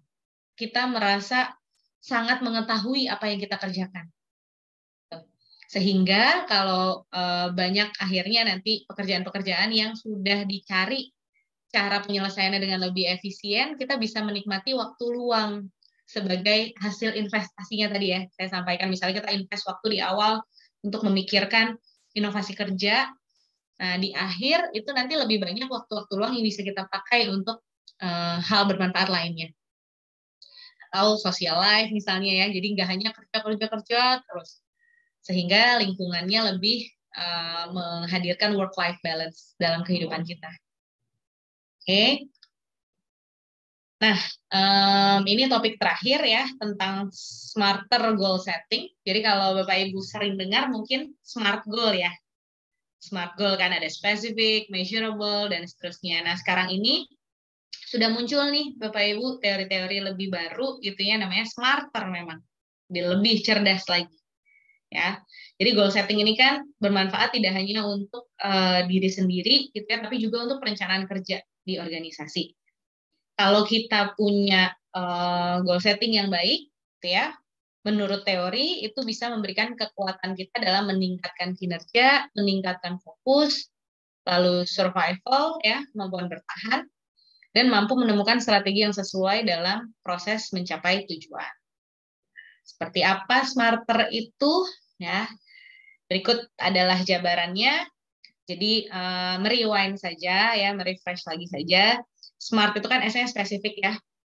Jadi kita kerja jangan lupa target-targetnya harus yang spesifik. Nggak bisa hanya oke kita akan melaksanakan kegiatan A gitu ya, tapi perlu di breakdown dengan lebih detail gitu. Seperti apa target spesifik yang mau dicapai yang dilakukan. Semakin spesifik semakin baik.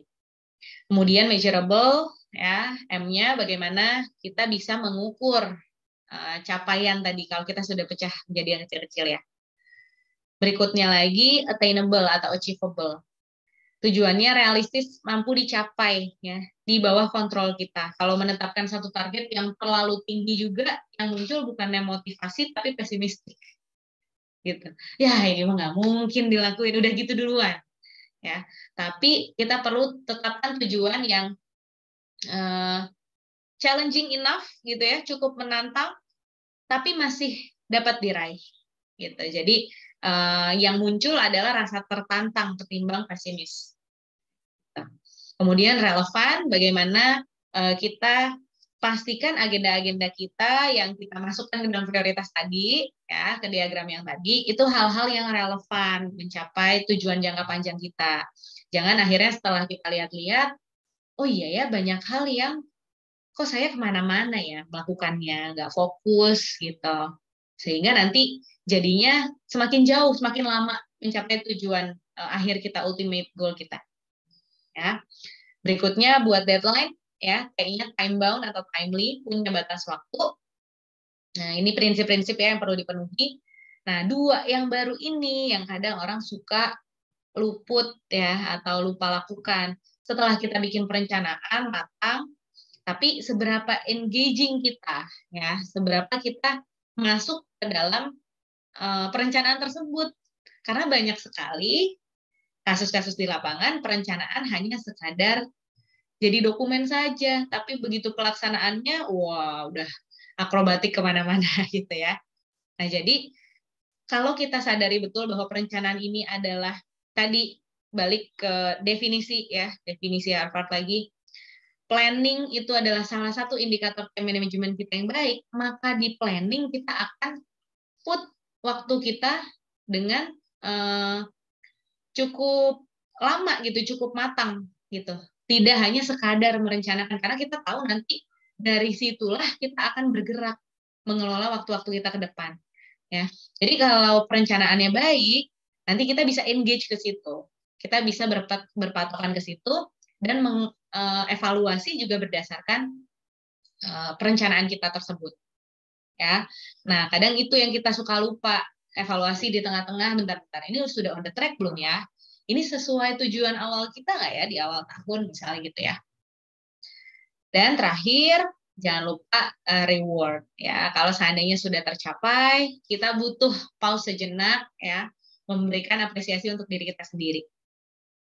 Oke, supaya uh, kita bisa mencapai milestone-milestone lagi ke depan. Karena kita tahu oh oke okay, setiap kali saya berhasil menuntaskan perencanaan kerja saya, saya nanti boleh melakukan ini nih. Yang tadi itu ada di diagram uh, kuadran dua ya, misalnya. Saya nanti habis ini boleh Netflix nih. Habis ini saya boleh liburan nih sama keluarga. Habis ini saya bisa ke salon nih gitu ya dan seterusnya. Habis ini saya bisa ambil cuti nih gitu ya. Karena udah beres kerjaan-kerjaannya. Oke kemudian oh ini nanti sudah mulai ada pertanyaan ya. Terima kasih eh, bapak ibu yang bertanya. Yang lain boleh ya silakan ditulis di kolom chat. Habis ini kita setengah sebelas akan tanya jawab. Nah golden rules of success goal setting ya kalau tadi tadi kan macam-macam tuh golden rules dari menetapkan prioritas golden rules dari kerja cerdas ya. Kalau ini bagaimana goal setting kita perencanaan kerja mencapai tujuannya itu berhasil ya. Tadi yang pertama menetapkan tujuannya yang bisa memotivasi ya. Bukan sebaliknya bukan demotivasi. Jadi target kerja boleh meningkat tapi peningkatannya harus realistis Bapak Ibu. Harus berdasarkan data juga. Dari mana angka kita bisa tentukan sekian target capaian kita dan itu naik sekian persen dari tahun lalu misalnya. Ada baseline-nya enggak datanya untuk bisa meyakinkan kita bahwa kita mampu menuju angka itu gitu ya. Bukan hanya sekadar menaikkan angka gitu. Kemudian eh, menetapkan smart goals and do it smarter. Ya, smart goals-nya tetap dibuat, jangan lupa ER-nya ya. pegawaian BPLM evaluate dan juga uh, rewarding kemudian tulis tujuan yang ditetapkan nah um, ini masing-masing beda-beda strategi tata caranya ya bapak ibu masing-masing punya cara sendiri tapi please uh, write down gitu tuliskan jadi kalau kita buat agenda nggak bisa hanya sekadar di di otak aja. Oh iya, saya nanti uh, pekan depan mau ke sini, berikutnya mau ke situ gitu ya. Nggak bisa. Harus ada yang ditulis, mau di jurnal uh, buku kah, paper and pencil gitu ya. Terbiasanya masing-masing terserah. Mau di HP, kalender HP. Saya pribadi itu di samping kanan saya ada papan tulis yang sudah dibuat agenda gitu ya. Karena karena saya konsultan jadi pekerjaannya tuh scattered ya. Banyak dari berbagai klien gitu macam-macam. Deadline-nya beda-beda waktunya beda-beda itu ada di sebelah kanan saya. Adalah kado dari sahabat-sahabat saya dulu waktu kuliah gitu ya.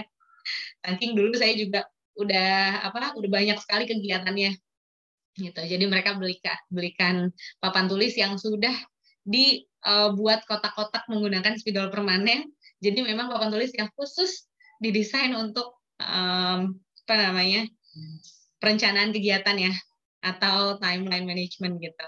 Time management.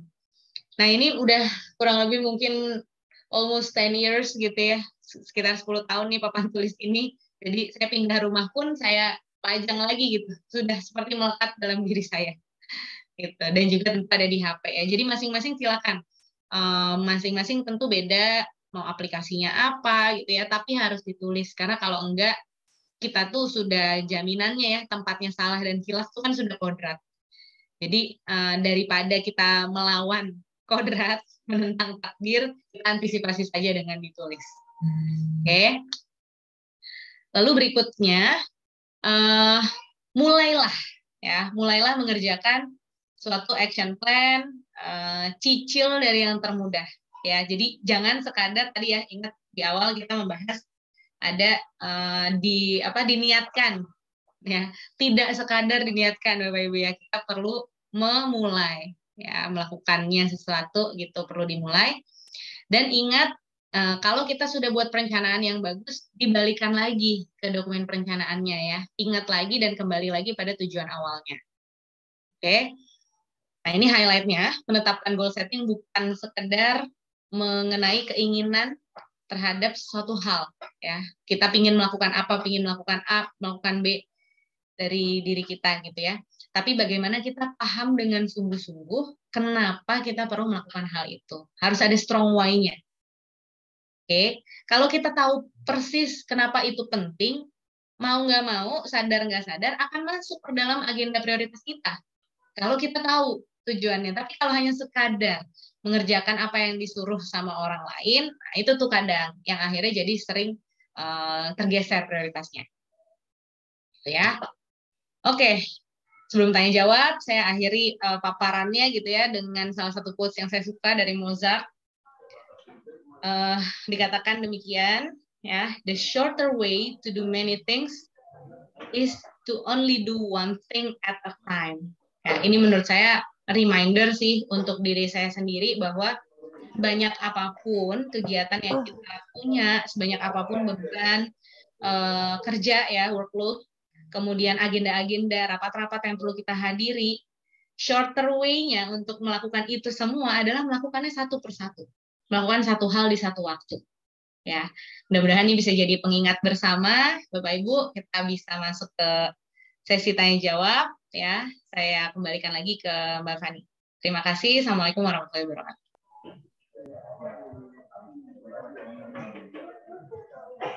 Luar biasa sekali Mbak Haura pemaparannya. Uh, langsung aja karena sudah lewat dua menit nih uh, waktu pemaparannya. Jadi kita punya 28 menit untuk waktu tanya jawab. Uh, pertanyaan per Oh iya tadi uh, Mbak Haura tuh jadi mau ngasih door prize nggak ya buat teman-teman nanti kalau ada pertanyaan terbaik nih?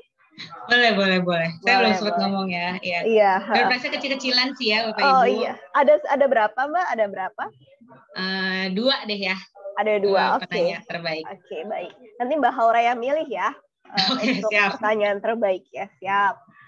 Uh, pertanyaan pertama dari Pak Riswani melalui kolom chat. Uh, beliau ingin bertanya terkait perbedaan kerja keras dan kerja cerdas. Apakah dari dua pembeda tersebut, apakah semua jenis pekerjaan harus disebut kerja cerdas atau sebaliknya?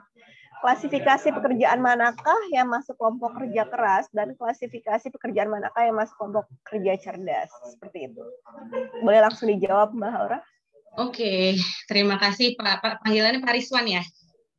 ya Pak Rizwan Bintang. Uh, bagus sekali pertanyaannya menurut saya. Um, dan ini saya buka ruang diskusi ya, Bapak Ibu. Intinya kembali lagi bukan hanya saya satu-satunya sumber, tapi bisa kita tambahkan ya. Jadi Bapak Ibu bisa tambahkan. Kalau uh, Pak Rizwan bertanyanya uh, apakah semua jenis pekerjaan harus semuanya disebut kerja cerdas gitu ya atau kerja keras? Uh, tentu kembali ke tipe ya jenis pekerjaannya sendiri itu apa. Tapi Tujuh, kalau ya uh, kalau menurut hemat saya gitu selalu ada ruang untuk improvement harusnya di semua pekerjaan apa pun. Logikanya uh, dulu gitu ya kalau ya kita tariknya jauh sekali semua pekerjaan itu disimpannya di uh, device masing-masing misalnya gitu ya. Kita pakainya disket dulu mungkin ya flash disk kayaknya semua orang dulu sempat ada masa-masanya oh flash disk lucu-lucu ya. Terus kalau datang ke seminar tuh uh, kit kit seminarnya tuh ada flash disknya itu kayak sempat deh ada momen-momen itu ya kemudian identik dengan uh, dibagikan juga apa notepad, uh, buku catatan, kemudian pulpen gitu. Tapi kita bisa lihat sekarang behaviornya, Bapak Ibu ya. Behaviornya, trennya mewajibkan kita untuk bisa work from anywhere gitu, sehingga kita perlu digitalize uh, hampir semua pekerjaan kita dan disimpannya di cloud misalnya itu salah satu improvement yang sangat nyata, disadari atau tidak gitu ya. Yang kita semua mulai geser pelan-pelan ke sana, masih ada sih yang menggunakan flash disk, saya tahu, saya juga kadang masih gitu ya, buat ngeprint ngeprint dan lain-lain, uh, dan backup ke hard disk juga. Tapi jauh lebih aman dan jauh lebih bisa dikerjakan dari mana pun dan oleh siapa pun ketika kita pakainya folder bersama, misalnya gitu ya, di internet. Nah, sehingga rasa-rasanya meskipun jenis pekerjaannya katakanlah administratif, katakanlah administratif, tapi bahwa dokumennya bisa dibuat go online, bisa diakses oleh tim yang lain, sehingga kalau kita Allah misalnya sakit gitu ya, lagi berhalangan ke kantor, tidak memutus rantai pekerjaannya gitu. Itu salah satu uh, contoh konkret hasil kerja cerdas menurut saya. Gitu. Memastikan dokumen-dokumen kita bisa diakses oleh rekan yang lain sehingga tidak bertumpu bergantung pada individu gitu ya. Melainkan itu dokumen bersama. Itu yang simple aja dan kayaknya semua orang sudah mulai ke arah sana gitu ya dan uh, mungkin mayoritas pekerjaan tadi saya sampaikan sudah mulai ke arah sana meskipun administratif. Nah nanti boleh share uh, Pak Rizwan boleh open mic gitu ya. Um, misalnya jenis-jenis pekerjaan apa sih yang menurut Bapak sulit nih untuk uh, diinovasikan gitu ya. Nah saya pribadi salah satu contoh misalnya ya yang saya lakukan di kantor itu adalah membuat work tracker bersama ya. Mungkin ini bukan hal baru tapi sering luput kita lakukan. Um, misalnya waktu kami membuat project job analysis ya membuat job desk sekian puluh karyawan itu dan masing-masing job desk tuh statusnya beda-beda ada yang sudah direview atasannya ada yang sudah divalidasi dua layer di atasnya gitu ya dan seterusnya sehingga kalau diminta oleh klien itu oleh yang membutuhkan kalau dokumen yang ini udah sampai mana gitu ya itu akan makan banyak waktu untuk koordinasi saja, koordinasi hal-hal teknis. Akhirnya yang kita lakukan adalah kita invest di awal buat work tracker di Google Sheet gitu ya. Klien di invite ke situ. Setiap kali ada progres pekerjaan kita, kita update statusnya di situ dan kita attach filenya di dokumen yang sama gitu ya link link filenya yang terbaru yang sudah ada kemajuannya atau ada progresnya gitu. Sehingga cara kerja ini gitu ya meminimalisasi waktu yang selama ini banyak dipakai tektokan hanya untuk nanya ini jabatan yang ini sudah sampai mana, statusnya harusnya gimana, penjadwalannya habis ini apa? gitu ya. Bayangkan satu satu dokumen job desk saja itu mungkin akan bisa buat tektokan berapa kali chat gitu kita dengan klien. Tapi dengan ada sistem, dengan memikirkan otomasi, kita meminimalisasi hal-hal yang katakanlah nggak perlu gitu ya, atau kurang penting untuk menghabiskan waktu gitu. Kariswan. Jadi uh, itu salah satu contoh konkret yang bisa dipikirkan gitu ya untuk pekerjaan-pekerjaan kita sehingga istilahnya atasan tuh nggak banyak buang waktu hanya untuk nanya progres. Kebayang nggak? Jadi tanpa nanya, beliau tuh sudah bisa mengakses link gitu ya, asalkan infonya jelas, misalnya ditaruh di grup kah? Uh, kalau uh, saya nggak tahu bapak ibu menggunakan Telegram atau enggak gitu ya. Kalau di Telegram tuh ada mode di pin untuk dokumen-dokumen atau link-link yang penting jadi ada terus di atas gitu, bisa dengan mudah kita akses misalnya. Jadi menggunakan Telegram, terus kemudian atasannya tahu untuk tugas-tugas yang penting ada link-linknya. Nah itu nanti begitu datang ke kita, bentuknya sudah koordinasi konsultatif, bukan lagi ko koordinasi administratif. Kebayang ya, Bapak Ibu, mudah-mudahan salah satu contohnya nih. Nah sehingga untuk menjawab pertanyaan ini, jadinya kalau misalnya klasifikasi pekerjaan mana yang masih kelompok kerja keras dan mana yang kerja cerdas menurut saya bisa dilihat efektivitas uh, sistem yang dipakai di pekerjaan tersebut. Seberapa misalnya pekerjaan itu beresiko uh, karena hanya bertumpu di satu orang misalnya. Pekerjaan tersebut masih uh, menggunakan banyak kertas gitu ya. Bukan paperless, bukan hanya soal uh, go green dan sebagainya, tapi dokumen itu bisa diakses orang lain dengan mudah gitu. Itu kan mempercepat proses koordinasi. Itu ya. Makanya kan sekarang di pemerintahan pun semuanya udah banyak II depannya ya.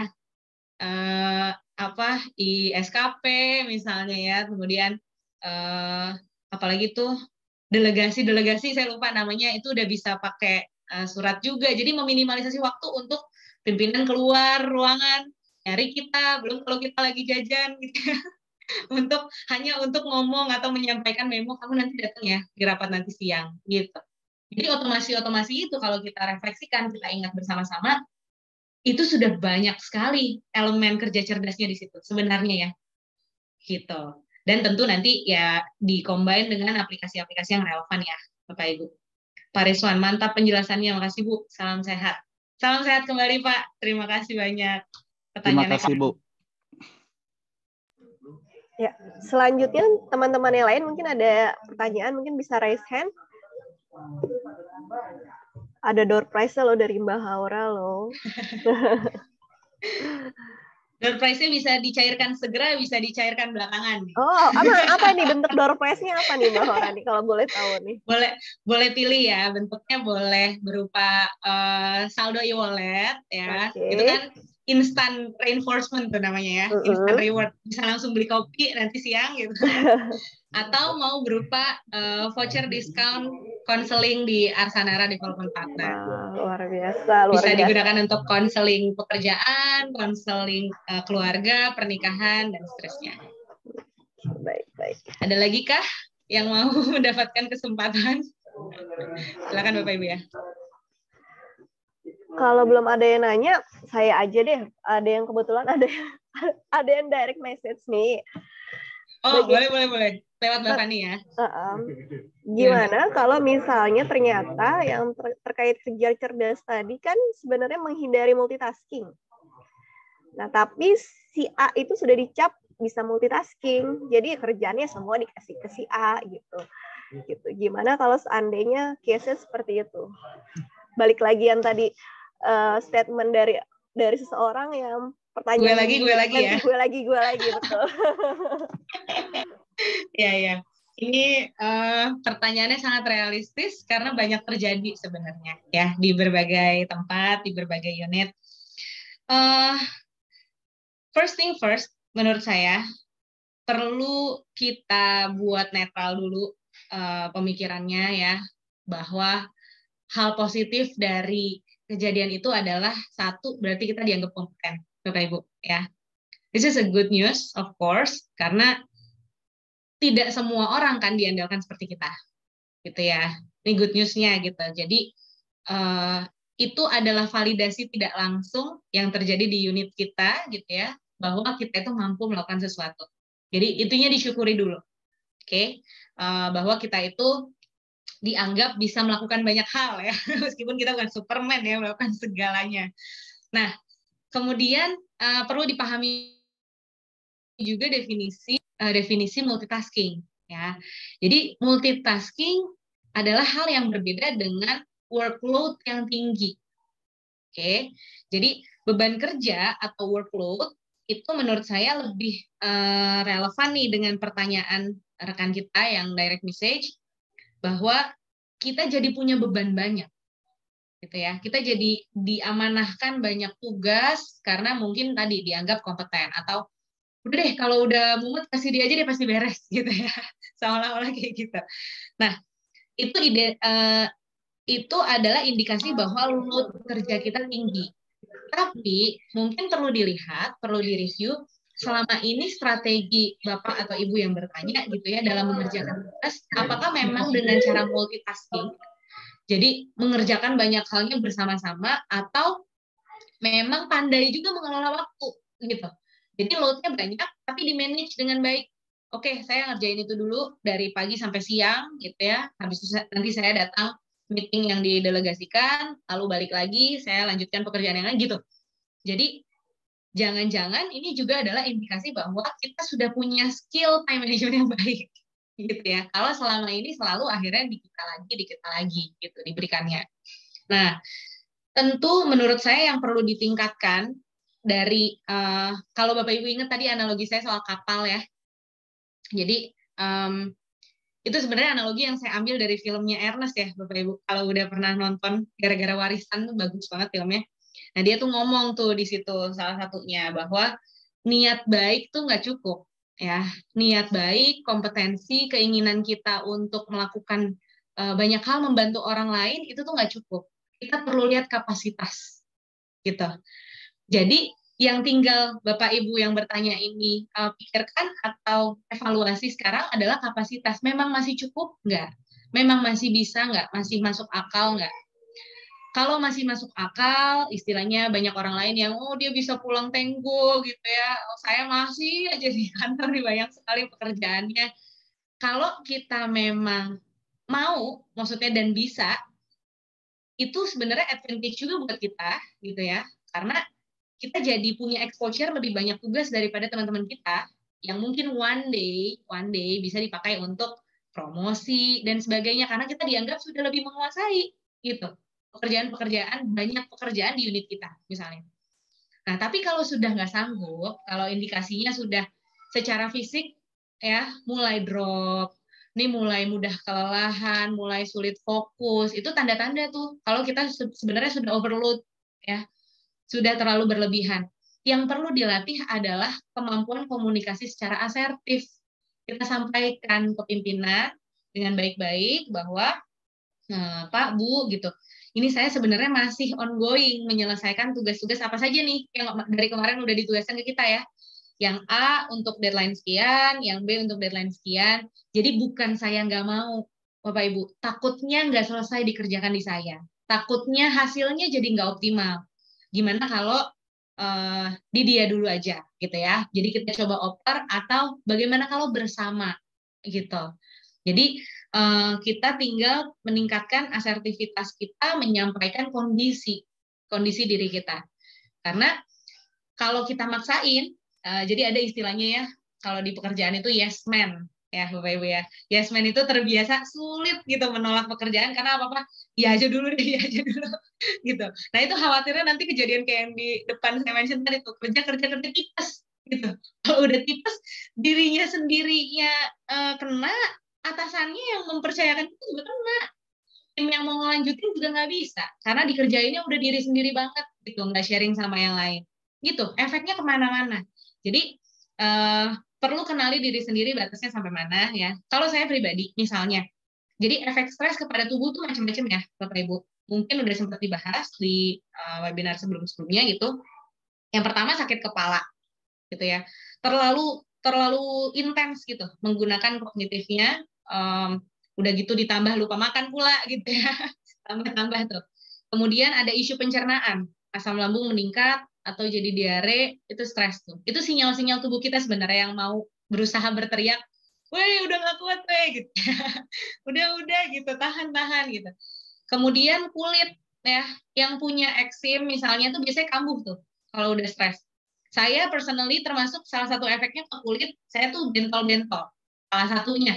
Jadi eh, nggak banyak ke mana-mana sih, tapi kalau udah ada indikasi kayak gitu, kemarin-kemarin baik-baik aja nih tiba-tiba udah mulai muncul. Nah ini tuh tanda-tanda saya udah terlalu banyak memikirkan sesuatu ya. Gitu. Lalu ada lagi yang efeknya itu ke sistem pernafasan. Jadi ngerasa kok saya ada apa sesek ya? Gitu. Nafasnya pendek-pendek. Gitu. Kemudian ke sendi-sendi. Ngilu-ngilu badannya. Gitu. Sakit-sakit mungkin udah kelamaan sekali duduk ya kurang break dan lain-lain. Itu tanda-tanda warning untuk tubuh kita sebenarnya. Nah, jadi perlu diidentifikasi mana yang karena faktor U gitu ya, emang penyakit umur badannya udah lemas-lemas, pegel-pegel, mana yang biasanya sehari-hari kita nggak kayak gini, tiba-tiba kita kayak gini. Nah itu tanda, psychologically mungkin ada something ya yang terlalu membebani. Kalau udah arah-arahnya ke situ, saran saya being open aja dan honest gitu sama pimpinan, Pak Bu, jujur saya lagi gini gini gini gini gitu. Jadi bukan nyari-nyari alasan, mungkin beliau lupa kalau kita juga diamanahkan banyak hal lain kemarin-kemarin gitu ya. Kecuali kecuali ini ada dalam kondisi tapi gimana nggak ada lagi orang nggak mau kamu gitu ya. Maksudnya terus kita gitu yang dipush. Berikan gambaran konsekuensinya. Jadi oke okay, kalau memang bapak ibu masih mau di saya konsekuensinya kemungkinan deadline-nya ngaret pertama gitu karena saya masih harus ngerjain yang lain gitu ya jadi saya nggak bisa janji tuh Pak akan selesai lusa, misalnya gitu ya. Karena saya masih ada eh, hal-hal lain yang memang deadline besok, misalnya gitu. Kemudian kedua, bisa jadi sebisa saya ya Pak, saya nggak janji tuh bisa mengundang si A, si B ya gitu-gitu deh. Kayak konsekuensinya seperti apa kalau itu istilahnya akadnya ya. Akadnya sudah di say yes, oke okay, nggak apa deh, yang penting kamu kerjain ya udah. Jadi enak, di akhir nggak salah-salahan gitu. Kita udah bilang dari awal kondisi kita seperti ini, konsekuensi kalau ini tetap kita yang kerjain adalah A, B, C, D. Gitu. Mungkin itu dulu kalau dari saya. Silakan Bapak Ibu yang lain yang mau menambahkan. Ya, ada Bapak Ibu ada yang ingin ditanyakan? Silahkan mungkin. Mungkin masih bisa dua pertanyaan terakhir gitu ya. Ya, dua pertanyaan terakhir. Balik mungkin uh, coba saya tanya lagi ya Mbak uh, Mbak Horat ini terkait um, apa namanya pengembangan dari pernyataannya Mbak Haura terkait yang yes man. Um, mungkin kalau kepimpinan kita bisa, oh iya iya baik. Tapi kan um, ada pekerjaan-pekerjaan yang datangnya dari yang rekan kerja tadi yang rekan kerja ini sebenarnya butuh kita gitu. Nah, sedangkan si rekan kerja yang butuh kitanya ini kadang-kadang dianya pulang tenggo, kitanya lembur. Ada aja kan yang kayak gitu tuh, ada aja yang kayak gitu. Ada aja yang kayak gitu. Nah, betul, betul, betul. Um, apa namanya? Tapi kalau misalnya nggak dibantuin, misalnya dia senior, sebagai mungkin yang CPNS atau PNS baru kan kayak merasa oke okay, nggak bisa ya udah senior gitu nah, mungkin um, ada ada ada eh, kondisi-kondisi yang seperti ini dan dialami oleh teman-teman kita baik di pusat dan di daerah uh, untuk apa ya gimana sih mengkomunikasikannya yang baik tuh dengan dengan senior itu mungkin uh, bahwa ya kita tuh juga ada pekerjaan sendiri loh dari pimpinan gitu. Maksud maksud uh, uh, dan kemudian kalaupun misalnya kalaupun misalnya ingin dibantu ya paling nggak berempati untuk jangan pulang tenggo juga gitu kan. Mungkin banyak case-case kayak gitu. Uh, mungkin bisa di uh, coba dijabarkan, dijelaskan bahwa terkait kondisi kayak gitu enaknya itu seperti apa? Oke, okay. uh, nanti setelah itu saya jawab pertanyaan terakhir ya dari udah ada di chat dari Pak Kurniawan, uh. di Kuncor. Oke, okay. uh, jadi menanggapi tadi pertanyaannya menarik sekali dan relevan sekali. Banyak mungkin yang mengalami hal itu, gitu ya. Uh, memang gini, Bapak Ibu, satu rumus atau prinsip yang harus kita sadari bersama adalah kita tidak pernah bisa mengontrol orang lain. Ya, uh, yang bisa kita kontrol adalah diri kita sendiri. Itu salah satu itu salah satu hal yang saya ingat-ingat terus juga ya. Ketika misalnya ada konflik juga ada hal-hal yang menyakitkan gitu ya, kita nggak bisa kontrol omongan orang lain. Yang kita bisa kontrol adalah bagaimana kita memandang konflik tersebut atau bagaimana kita menerima kata-kata tidak enak tersebut misalnya. Nah sama nih kayak case-nya tadi Mbak Fani sampaikan. Ada hal-hal yang um, tadi misalnya kita segen ya atau nggak enak sama uh, staff yang sudah lebih senior. Sebenarnya kita bisa balikin lagi sih. Saya dulu juga uh, kebetulan sekali gitu ya waktu di Kemendikbud di depan saya tuh staff yang sudah mau pensiun tahun depan gitu. Jadi uh, memang pace kerjanya berbeda, tuntutan kalau kita minta pakai uh, aplikasi teknologi juga agak berbeda. Hmm, kitanya sebenarnya pertama juga perlu saling ya. Jadi kita ingin orang lain kan berempati juga. Kitanya juga sebenarnya perlu saling berempati sih gitu. Istilahnya gini, kalau saya paksain, saya egois di titik tertentu gitu ya uh, untuk mengerjakan oke okay, kerjaan saya saya aja uh, kerjaan uh, bapak ibu ya udah masing-masing aja gitu kan udah dibagi gitu. Tapi kemudian kita lihat lagi timelinenya deadline-nya ini tuh acara sebentar lagi misalnya gitu ya. Dan kalau diberikan kepada bapak ibu tersebut misalnya lama banget selesainya gitu. Ada konsekuensi tim juga yang harus diambil gitu ya. Tinggal kita timbang-timbang manfaat mudorot istilahnya ya. Jadi hal positif negatifnya kalau kita stay bertahan di uh, zona kita aja gitu ya ya nggak bisa bapak ibu saya juga banyak banget nih tugasnya gitu ya. Kira-kira itu akan berakhir selamat atau enggak mungkin kita gitu.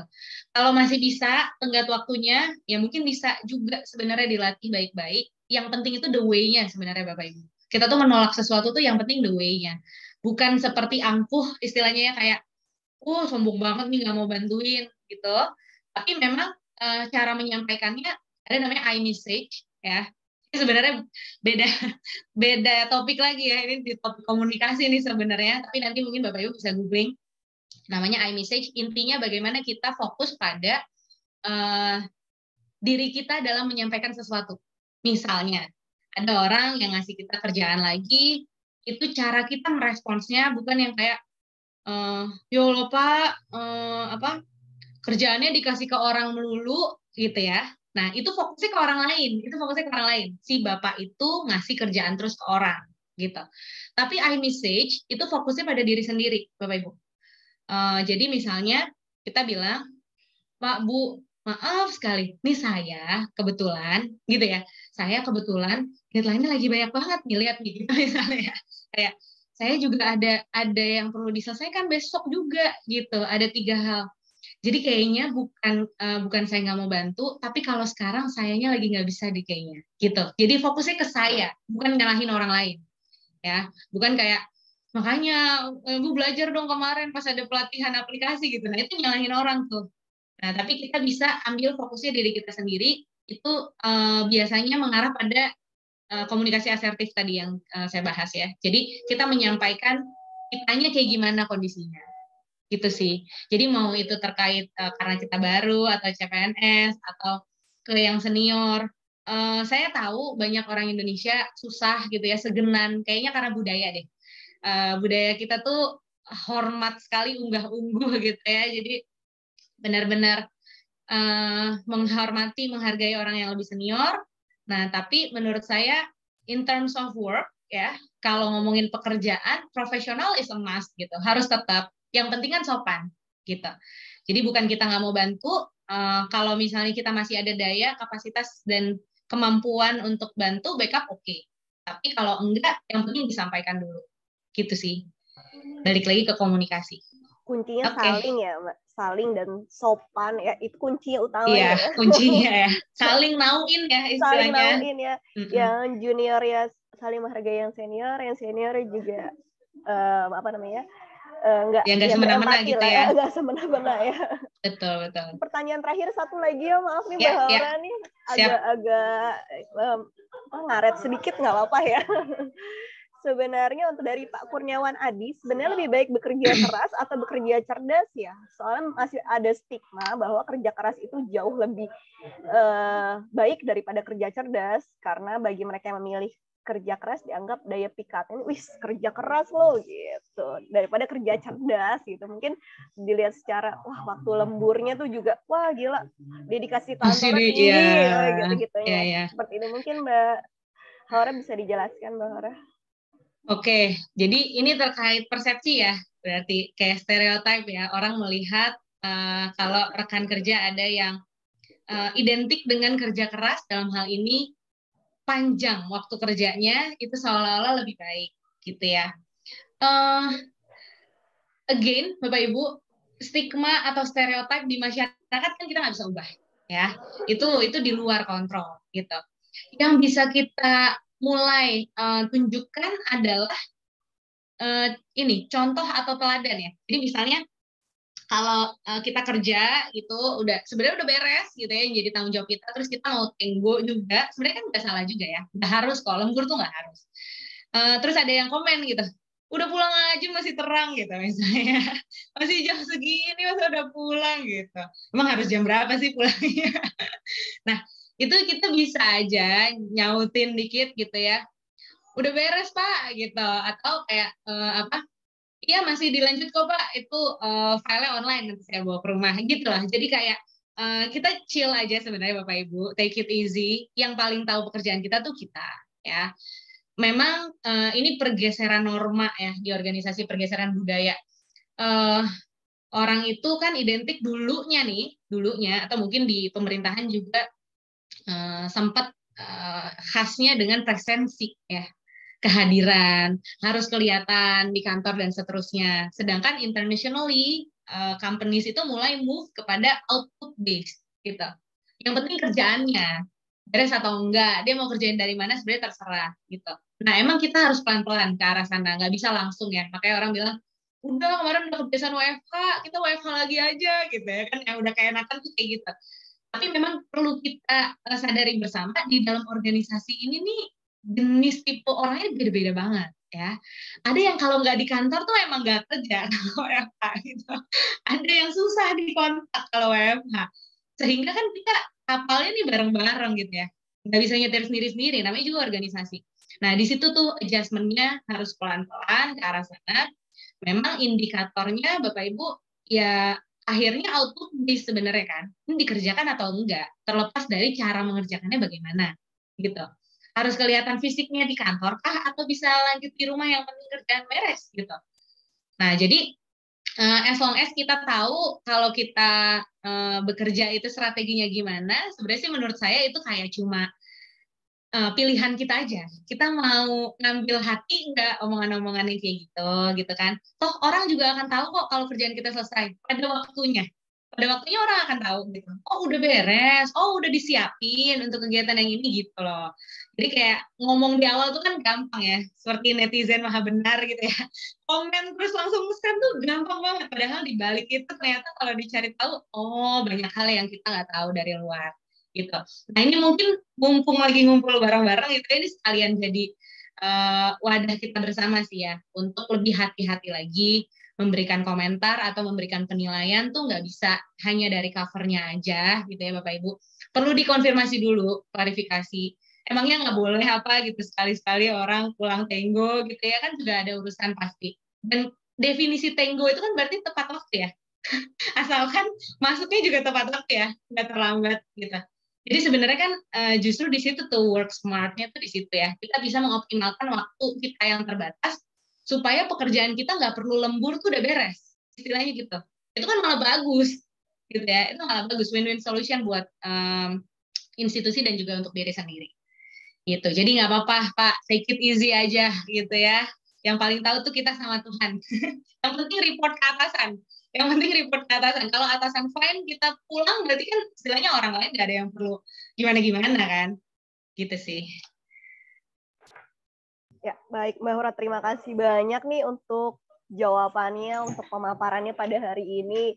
Mohon maaf nih kalau ada Bapak Ibu yang masih bertanya tapi nggak bisa terjawab, mungkin di lain sesi kita bisa mengundang Mbak Hora lagi nih untuk mungkin ada tema-tema selanjutnya ya Mbak Hora ya. Amin, amin. Semoga berlanjut ya. Semoga berlanjut ya Mbak Hora ya. Oke, baik. Eh, Bapak dan Ibu, eh, mungkin kita boleh mungkin foto biar screenshot aja kali ya. Yeah, uh, biar foto bareng, foto bareng nih. Kita gimana nih? Konsep foto bareng di Zoom tuh screenshot sebenarnya. Kalau dinyalakan ya uh, videonya. Baik, sebentar saya remove dulu. Oke. Okay. Ini ada yang bertanya kepada saya ya untuk kontak lebih lanjut uh, via direct message. Uh, Bapak Ibu nanti boleh uh, ke Instagram dulu saja Uh, nanti kita bisa tukeran nomor HP kalau di sana mau diskusi lebih lanjut ya. Khawatirnya saya nggak sempat simpen nomor atau uh, telat gitu ya, apa nggak nggak benar nyimpennya. Jadi bisa ke @salitsa HS ya. Nama saya nih Salitsa terus HS Salah Syarifah. Terima kasih, silakan Mbak Fani. Ya, baik, uh, kita screenshot dulu ya Mbak Horea sebentar. Oke, baik. Mungkin sambil nanti ada admin lain yang screenshot Mbak Hora, uh, tadi berarti yang dapat apa namanya dapat surprise ya? itu adalah Pak Rizwan dan Pak Kurniawan betul ya? Ada dua orang betul karena yang ada di kolom chat ya oke okay, baik sekali nih yang bertanya langsung DM ke Mbak Fani saya jadi nggak tahu identitasnya jadi selamat ya. untuk Pak Rizwan dan Pak Kurniawan Semoga minta, berkah ya ilmunya. Minta dirahasiakan yang ke saya. Oke. Okay. Baik, uh, mungkin nanti untuk Pak Rizwan dan Pak Kurniawan nanti mungkin um, kalau apa untuk nomor handphonenya bisa uh, pesan ke saya di Fani Putri Permatasari atau mungkin dapat menghubungi admin kepegawaiannya masing-masing biar nanti admin kepegawaiannya menghubungi saya. Baik Mbak Hora, terima kasih banyak ya untuk waktunya nih luar biasa. Dengan senang hati, mm -hmm, senang mendapatkan... sekali ketemu Bapak Ibu semua. Mohon maaf ya kalau ada kurang-kurangnya yang mendapatkan ilmu nih kita nih luar biasa. Jadi um, banyak banget yang bisa kita petik dari Mbak Hora tentang manajemen waktu, tentang bagaimana caranya kerja keras. Kalau bisa jangan eh kalau bisa jangan kerja keras tapi kerja cerdas aja. Uh, tentang menghindari multitasking juga. Kemudian um, ada tadi uh, beberapa beberapa apa um, terkait tanggapan dari uh, pengalamannya Mbak Hora ya di Arnasara sendiri. Baik Bapak dan Ibu, uh, kami cukupkan sampai di sini. Assalamualaikum warahmatullahi wabarakatuh. Bapak dan Ibu dapat meninggalkan Zoom meeting pada hari ini. Sampai bertemu di Zoom meeting uh,